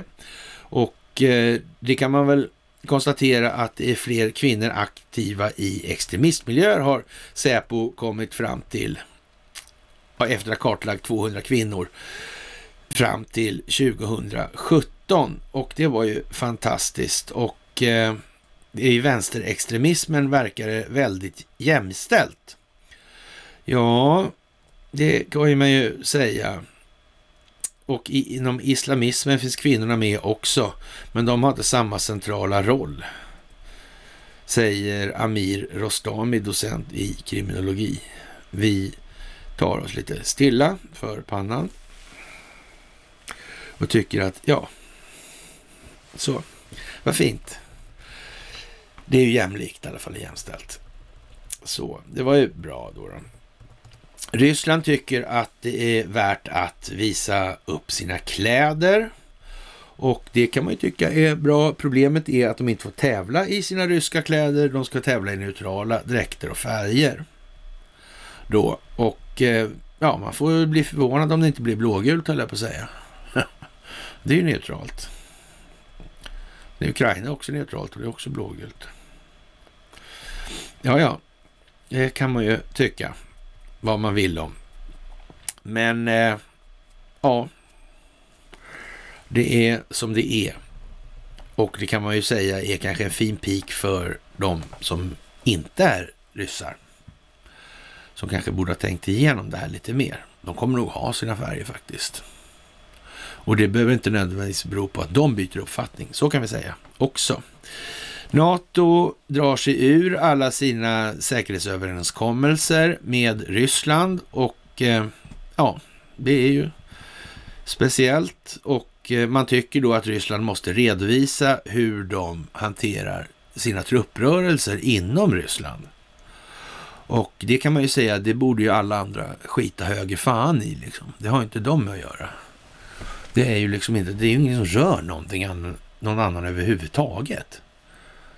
Men det är ju som vanligt då, det är Ryssland som expanderar sin truppnärvaro utåt från landet. Ja, då fine.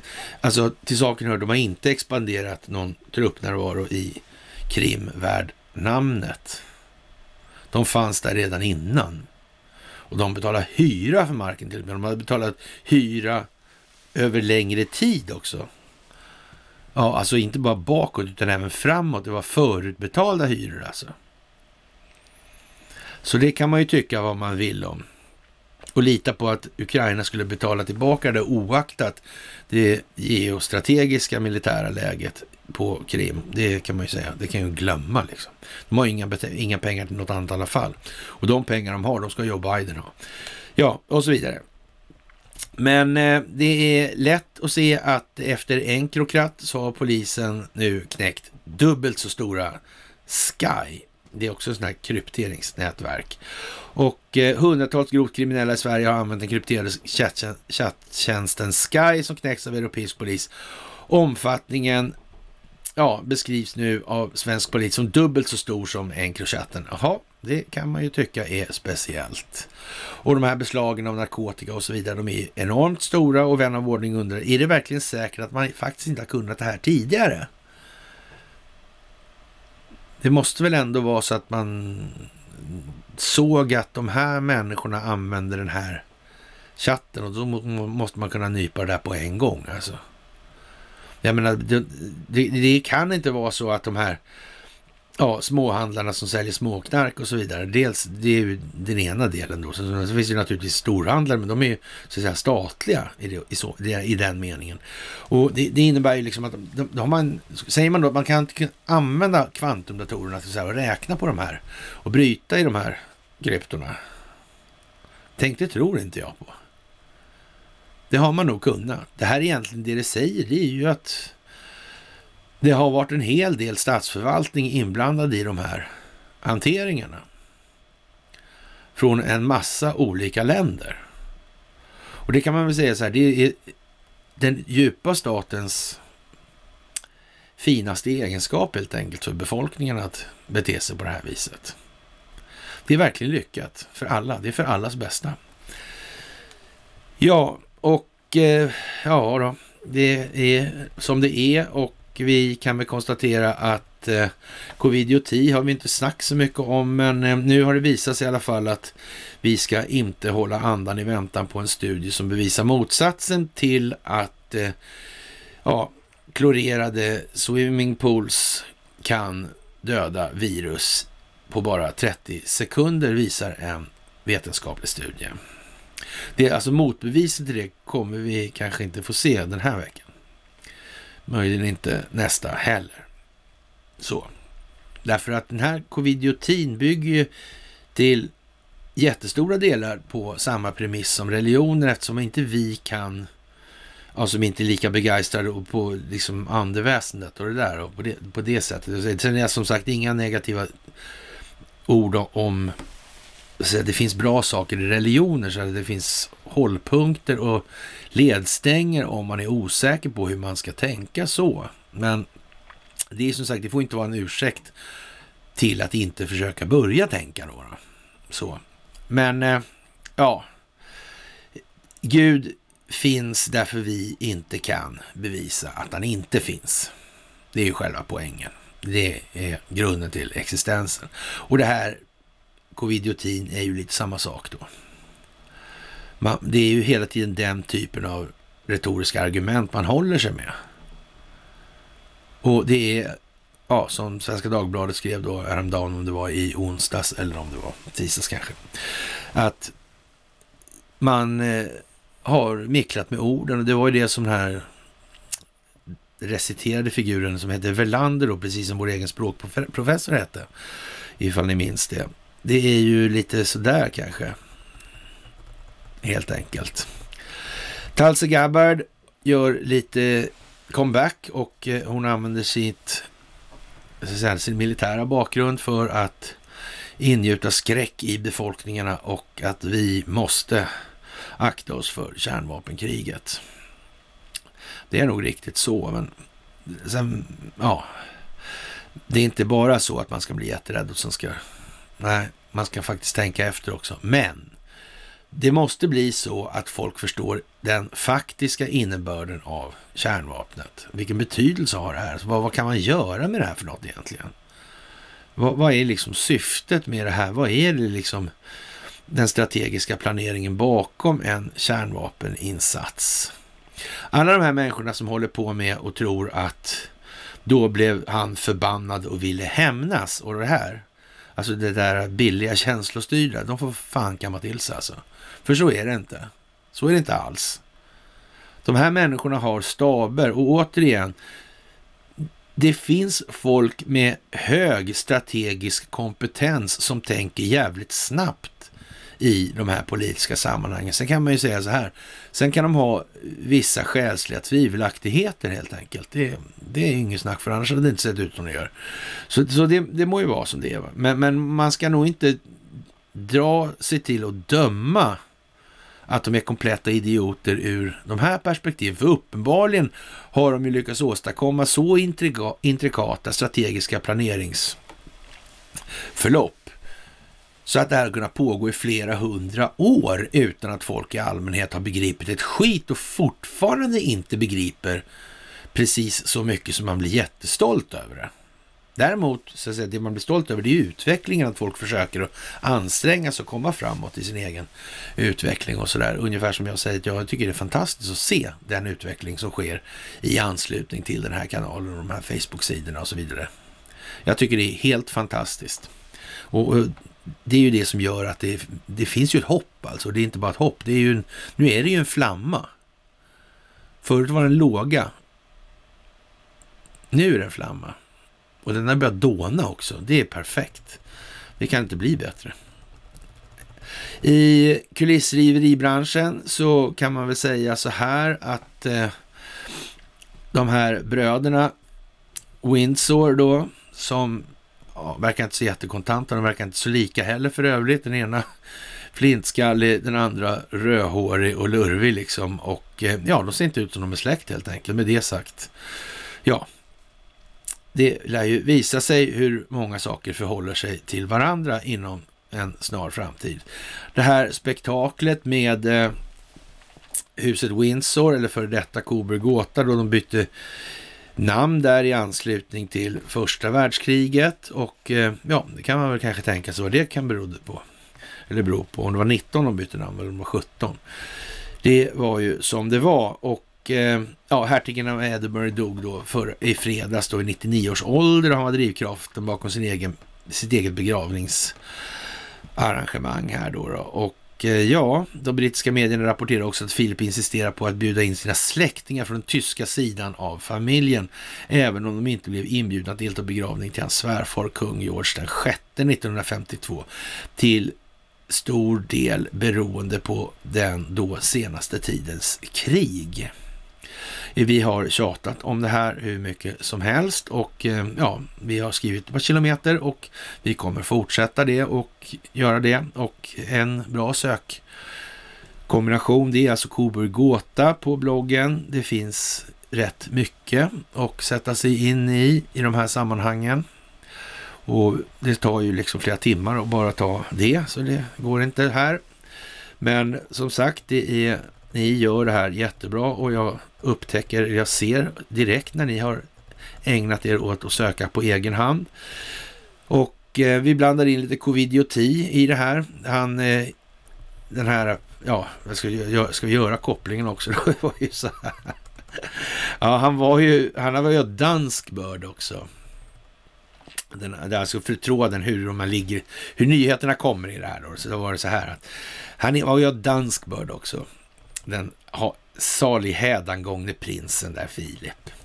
Och eh, ja, han var ju han var marinör höll jag på att säga, men han var ju flottan också. Och, sådär. och eh, ja, han, eh, ja, han bjöd in då danska kungahuset och så. Han tyckte, ja, men det var lite sådär. Och det här är ju så sagt ganska intimt kopplat om man säger så här med Kober Gåta, nazistpartiet, Edvard den åttonde och ja, hela den här som vi har kört några varv här nu runt senaste tiden. Och eh, ja, för att lägga in en covidisk aspekt på den frågan så öppnar Danmark upp mer än väntat nu så här på vårkanten och eh, ja, det är väl inte vad Sverige gör då. då.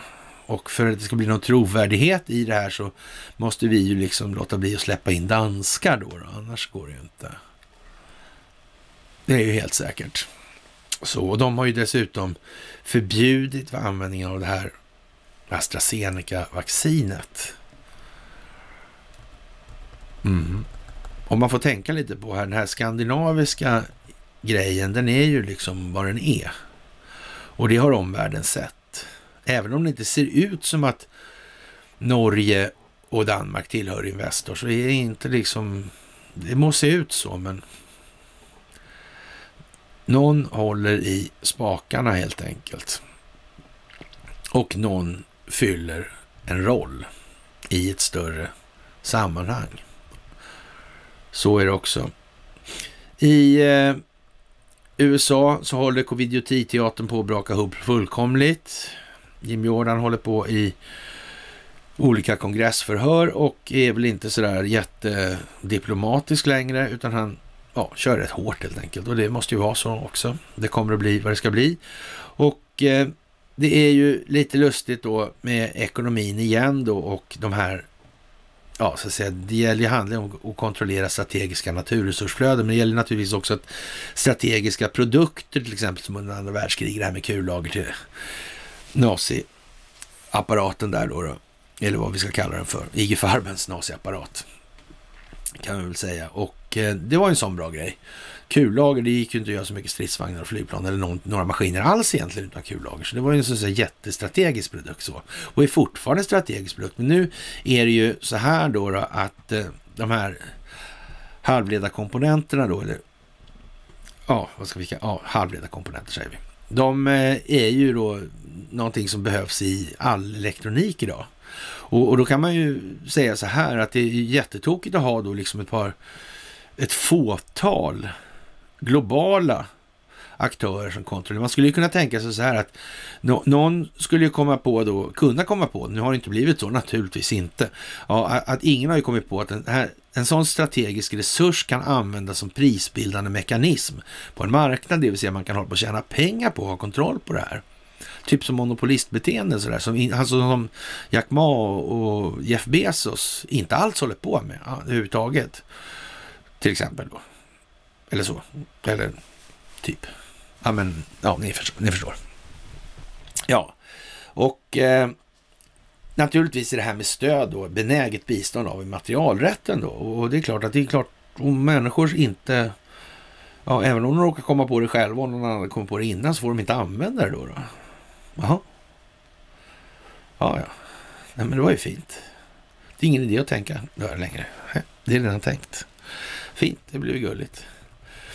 Ja, och eh, det blir lite tokigt för stackars Joe då som han slår på de här sanktionerna allt vad han kan och han åberopar då det här med, ja, Polar Bear höll jag på att säga, Fancy Bear i alla fall. Och Solar Winds. Och eh, ja, det blir ju lite dumt helt enkelt.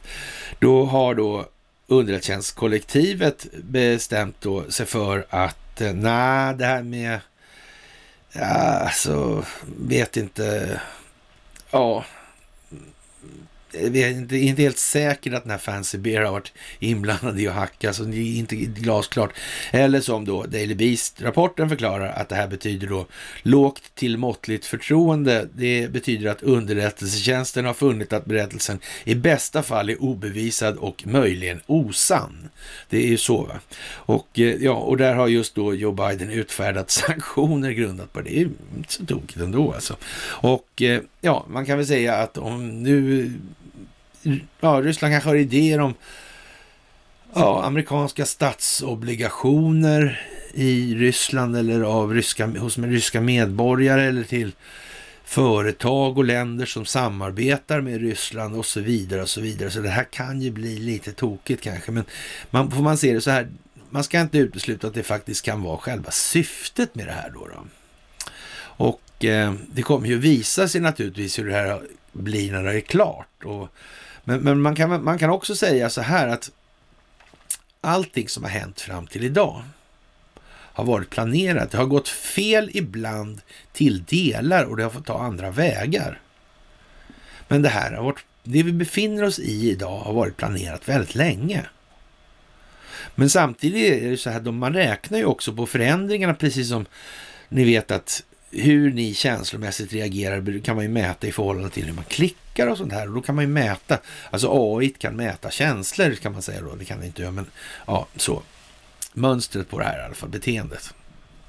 Och det här är ju samma sak då när det kommer till hur man har planerat det. Hur reagerar vi? Vad händer? Och så vidare. Hur måste säga, nästa opinionsbildningssteg se ut för att leda fram till nästa position i den här opinionsbildningsmässiga manegen?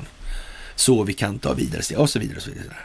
Och eh, ja, nu blir det ju lite tokigt här, eller tokigt, det blir inte tokigt, det blir som det ska, men alltså det blir väldigt uppenbart i vart fall att Joe Biden han sätter sanktioner på grejer som underrättelsetjänsten inte är sanna.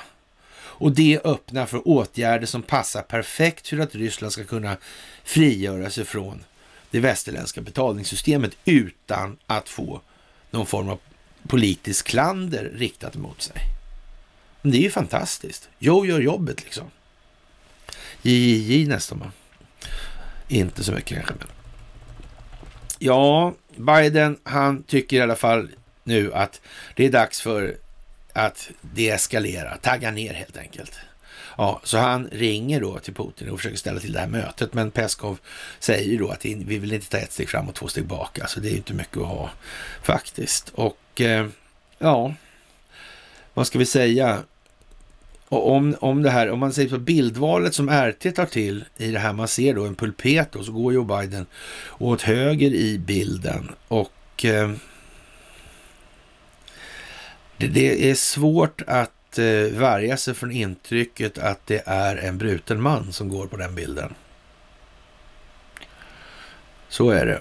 Som, ja, som jag sagt massa gånger nu, alltså det är, man, fan, det där är inte schysst alltså, men ja, visst. Här hemma har vi schyssta Lena istället då och vi tar lite roligare och glada nyheter, eller vad man ska säga. Nej, men visst. Vaccinerade får träffa fler människor inomhus då. Och eh, alltså ingen, svensken är faktiskt inte så noga med det här med rättvisa. För det är därför vi har ett begrepp som heter svenska avundsjuka ja, ja, ja, ja, ja, ja, ja, ja, ja. Aha. Om man är vaccinerad, då ska man träffa människor, men om man inte är vaccinerad, då får man det. Det är diskriminering. Ja, men står inte det i de här äh, Nürnberg-historierna efter deras äh, äh, ja, Hitlerkriget eller vad det hette eller något sånt där va? Ja, där de nazistiska nazister, när de var liksom de där lirarna liksom. Ja, Aha. ja, ja. Nej, men eh, vad ska man säga? Det, inte en svensk kommer gnälla för det där liksom. Och är det någonting som får fart på det här med att folk börjar skita i de här grejerna så ska man ju säga så här, då, ja men då är det nog ett opinionsbildningsmässigt genidrag faktiskt att göra så där. Jag tänker fan inte vaccinera mig, jag tänker träffa de människor jag vill träffa. Punkt jävla slut. Det skulle man kunna tänka sig en tanke som någon enstaka svensk skulle kunna... Ja, men då ska, först ska betala för det där vaccinet. Ja, ja nej, men visst. Och då kan man säga så här, om de inte har råd då? Jaha. Det blir en ekonomisk fråga om att träffa sina vänner och familj. det blir klockrent. Mm, då kan man säga så här, det är slut med att ta betalt för vaccinet i alla fall, då måste det bli bra. Va? Om inte alla har råd så kan man inte hålla på med en sån här lagstiftning. Det går inte att tänka. Då, då måste ju i sådana fall samhället stå för det där. Ja, då kan det stå, ska det stå för en, så annars blir det orättvist. Då måste det stå för alla. Eller hur? Ja, hur som helst. Lena har linda in sig, va? Det är bara så. Och det är väl hennes roll och uppgift i den här teatern vid det här tillfället helt enkelt. En eh, intressant artikel jag fick skickad till mig gällde ju Estonia-historien, men det var snarast då vad som regeringen ansåg i en fråga så här när det gäller forskning och så att säga forskningsfusket, för det är ju naturligtvis en kyrka som måste revideras rätt kraftfullt den också. Och där kan man väl säga då att eh, regeringen anser, i, det står som ett, jag tar ett utdrag ur den här artikeln, så den handlar om Estonia, i och för sig intressant, men det här är då, som jag eh, såg det då när jag läste det där, att det är ju, vad ska man säga, det här är ju någon form av definitionsmässig ja, ett definitionsmässigt destillat av Stockholmsbyråkratin alltså. Det är fantastiskt. Det här är ju fan liksom nästan lördagsroligt alltså. Ja, regeringen anser därför att det bör inrättas en expertgrupp för oredlighet i forskning vid centrala etikprövningsnämnden. Expertgruppen bör ha till uppgift att på begäran av universitet och högskolor lämna yttranden som ett stöd i lärosätenas utredningar av ärenden som rör misstankar om oredlighet. Det bör för statliga universitet och högskolor som regel vara en skyldighet att i en utredning inhämta ett yttrande, inhämt, inhämta yttrande från denna expertgrupp om en anmälare eller anmäld person så begär. Men kom igen, det där är bra alltså. Det kommer Svensson tycka är skit sådär. Och så när man ser några ord så här, expert och etikprövning, expertgrupp, lärosätena, universitet, högskolor.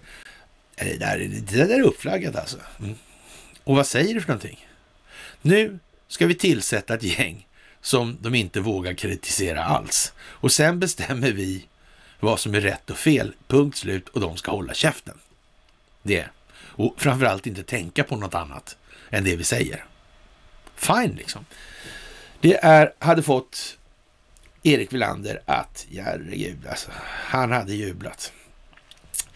Eh, från Norge kom det ett mess och eh, ja, det händer inte bara en gång om dagen, det händer massor med gånger varje dag och det är jätteroligt. Och eh, jag flaggade för för länge sedan för att den här Hagen då med försvunna frun i Norge va, som sitter på, ja vad ska man säga, kraftförsörjningen i Norge till någon inte obetydlig del och sitter ihop med Sverige och säljer ner i Europa lite grann också till Litauen, Estland, Lettland, Baltikum i alla fall. Då. Och eh, det blir naturligtvis även Tyskland då den vägen.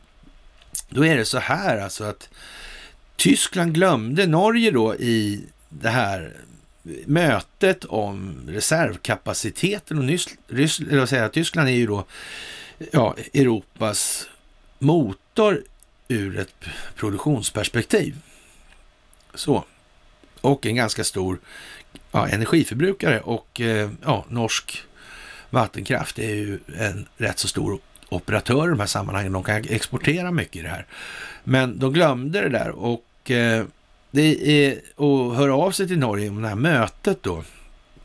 Och det kan man säga, det är lite eljest helt enkelt. Och vi ska nog inte utesluta att den här Tom Hagen alltså är på något vis insyltad den här på... Eh, han kan ju alltså vara en nyckel då in i kraftförsörjningsnätet. Och Norge är ju tacksamt för där finns ju redan NATO eller de så säga, militära enheter som skulle kunna tänkas behövas om man behöver ta över kraftnäten och sådana här grejer. Så det här med att låta då eh, de här intressena, djupa staten-intressena, ha kvar kontrollen på kraftnäten, det leder ju alltså till situationer som är ja, Argentina, Uruguay och Venezuela och you name it, där har varit strömavbrott alltså. Mm. Eller Texas kanske vi ska ta som ty mer tydligt exempel då just nu, eh, dagsaktuellt i alla fall. Och eh, ja, det är inte alls osannolikt att till och med frun kan vara insyltad i det där. Det finns flera perspektiv som man kan tänka sig kan gälla i det. Men det lär vi få se. Men, och det lär ju vara rätt så väl förborgat. Annars, det tror inte jag är att någonting som ska torgföras ännu alltså. Men eftersom det kom upp nu då så att Tyskland glömde Norge och det verkar ju just vara det mest sannolika i hela världen att Tyskland skulle glömma Norge. De kunde ju komma ihåg i alla fall andra världskriget borde de ju kunna komma ihåg och tungvatten och lalala liksom. Det, ja, men whatever. Det är inte alls med trovärdighetens prägel. I alla fall man skriver så. Tyskland glömde Norge, nu beklagar de sig. Ja, ja, för det. Jaha, ja men fint. Ja, men vi tror att den här, här Haugen kan vara en fråga i den saken som man kanske inte har vägt in riktigt i så mått. Och eh, det är ju så att det här kraftförsörjningshistorierna då, skulle man kunna säga så om det nu var sån kris för det här, då skulle ju i så fall Sverige kunna kliva på där, men det verkar inte aktuellt på något vis av någon anledning. Ja, vad ska man säga? Fantastiskt, helt enkelt. Och ännu mer fantastiskt är det naturligtvis i Pentagonen. Den eh, är ju lite sådär, eh, ja, femkantig. Men eh, ja, fast det består kanske en del fyrkantiga gubbar. Men eh, ja, det finns väl sådana fyrkantiga gubbar som profiterar på verksamheten i Afghanistan. Här i Sverige hade vi till och med en skämtfilm om det, Colin Nutleys nionde kompani. Den beskrev alla hedliga militärer som fanns på P18 Gotland där och eh, ja, det var inte ens hedliga fruar vill jag minnas med regementschefen där. Och eh, ja, jag fann stort nöje där en gång i tiden när den var ny och skrattade gott åt det där. det är... Ja, vem är det som styr Pentagon egentligen? Det verkar mer oklart än någonsin faktiskt. Och det kanske man ska ta och ha i åtanke faktiskt. Det blir mycket spännande tider som kommer nu. Banker går ihop om bolån och man bildar en ny sån här liten historia då för den sakens skull. Och eh, räntenivån är vad den är och den går inte att trycka ner så där jävla mycket så det går inte att här, motivera det här på något sånt perspektiv. Det gör det ju inte riktigt faktiskt. Och det är som sagt, det är bara skulder i botten som kapital på en bank också. Det är inget annat liksom. Allt är skuld. Så. Och då blir det liksom inte sådär äh, mycket att spela på. Men man torgför sig som att det här är en bank som ska vara inte bara för miljonärer. Sådär, sådär, sådär. Man kan ju vända på det lite lätt och säga så här. Det där är en bank som ska vara till för att de andra bankerna ska kunna lägga sina dåliga lån i det där för att minska belastningen på de övriga bankerna. Och sen kommer staten få gå in och stödja den här bad bank-funktionen. Det är nog ett alternativ som man inte ska förbise helt alltså i det här läget. Nej, det tror jag inte. Det verkar dumt. Och i anledning till de här skuldsedlarna som finns i bankerna då så söker Riksgälden en ny riksgäldsdirektör Hans Lindblad slutar. Han ser ut som en riktig Stockholmsbyråkrat och visar väl inga, så att säga, under sin yrkeskarriär har han inte visat några större tendenser till att vara någonting annat än vad han ser ut som och det kan man ju tycka är lite beklagligt. Men vi drar oss till minns i alla fall då att sex anställda på Riksgälden åtalas för mutbrott rapporterar flera medier. Det här var ju förra året då. Personerna ska ha tagit emot presentkort och en tv-spelskonsol från it-företaget Labcenter i slutet av 2015 på början av 2016. Tidigare har bland annat anställda vid Lantmäteri, Transportstyrelsen, Sjöfartsverken och flera regioner, flera svenska regioner utretts för att ha tagit emot mutor från företaget. I oktober 17 lade en åklagare ner utredningen mot anställda vid Riksgälden som anklagas för att ha tagit emot prylar från Labcenter med motivering att det fanns ingen anledning att anta att mutbrott hade begåtts. Eh, ja, mm, vad ska vi säga helt enkelt? Det är ju vad det är och det sitter i det sammanhang det gör. Och det börjar bli rätt så svårt att missa nu. Och eh, för att göra det lite komiskt, det var ju de här finska brudarna i 30-årsåldern, 30-35-årsåldern där som nu står för all politisk erfarenhet i partiledningarna. De, eh, ja, de är ju där de är nu och nu har de beslutat att eh, regeringen då alltså Eh, ingen alkoholservering efter 17 och matrestauranger ska stängas 19 i Finland då. Och eh, ja, som sagt, det här med metoo och eh, pride och såna här grejer och så. Och, ja, det måste ju finnas en och annan kar kvar i Finland då va. Men det är klart, de har varit kuvade länge de också. Men eh, det vore väl trevligt att se. Om inte annat så skulle man kunna säga så här, lite finsk resning skulle säkert få en och annan finne i Sverige och visa att det går fan här också. Och, och, det skulle finnas en och annan svensk som skulle kunna tycka sig att då så, då hakar vi på alltså. Ja, och så säger vi ifrån här alltså. Och ja, det finns i Norge detsamma. Och eh, ja, jag tycker det är naturligtvis jättebra med den här kommunikationen vi har, att vi så att säga håller det här i en så att säga gemensam rörelse. Så det är ju fantastiskt. Det, och det kan inte bli bättre. Och det, och det måste ju vara så. Alltså det här har ju varit då Alltså de här länderna har ju interagerat eller styrts interaktivt av samma jävla husse i evigheters evigheter alltså. Ja, och nu står vi där vi är. Och det är faktiskt bara att gilla läget och ta tag i det här nu. Och det är ju faktiskt det ni gör så jävla bra faktiskt. Och eh, då är vi tillbaka där vi börjar då. Har vi gått varvet runt och eh, det är när Göteborgs-Posten skriver att skarpa råd lanseras i Blekinge. Det var ett par timmar sedan jag började men vi kom tillbaka dit i alla fall. Vi skulle dit. Nu har vi gått varvet runt. Och eh, ja, vad ska vi säga? Som sagt, nu duger inte goda råd längre. Nu måste vi ha skarpa råd. Visst, fine. Ja, det är inte gulligt så säg. Det är skarpa råd som gäller i Blekinge. Det är skarpt ja. Nu säger man till på skarpen. Här har ni råd. Den som råd lyder är vis. ja, då vet vi. Ja, ja. Med det sagt så är det här fredagsmyset slut. Och eh, ja, ni ska ha ett stort tack för att ni är de de är och att ni gör det ni gör och jag är fantastiskt glad att se er svetsas samman i det här. Det tycker jag är så fantastiskt. Och det är det som gör att det här växer organiskt. Det är det som är den gemensamma nämnaren i det här. Ni finner ut saker och ni kommer på att det finns fler som faktiskt resonerar som jag i de här frågorna. Och det är det som skapar gemenskapen, sammanhållningen, förståelsen och så vidare. Det är det som måste vara den själ och kultur som människor andas om det ska bli ett samhälle. Och så måste det vara.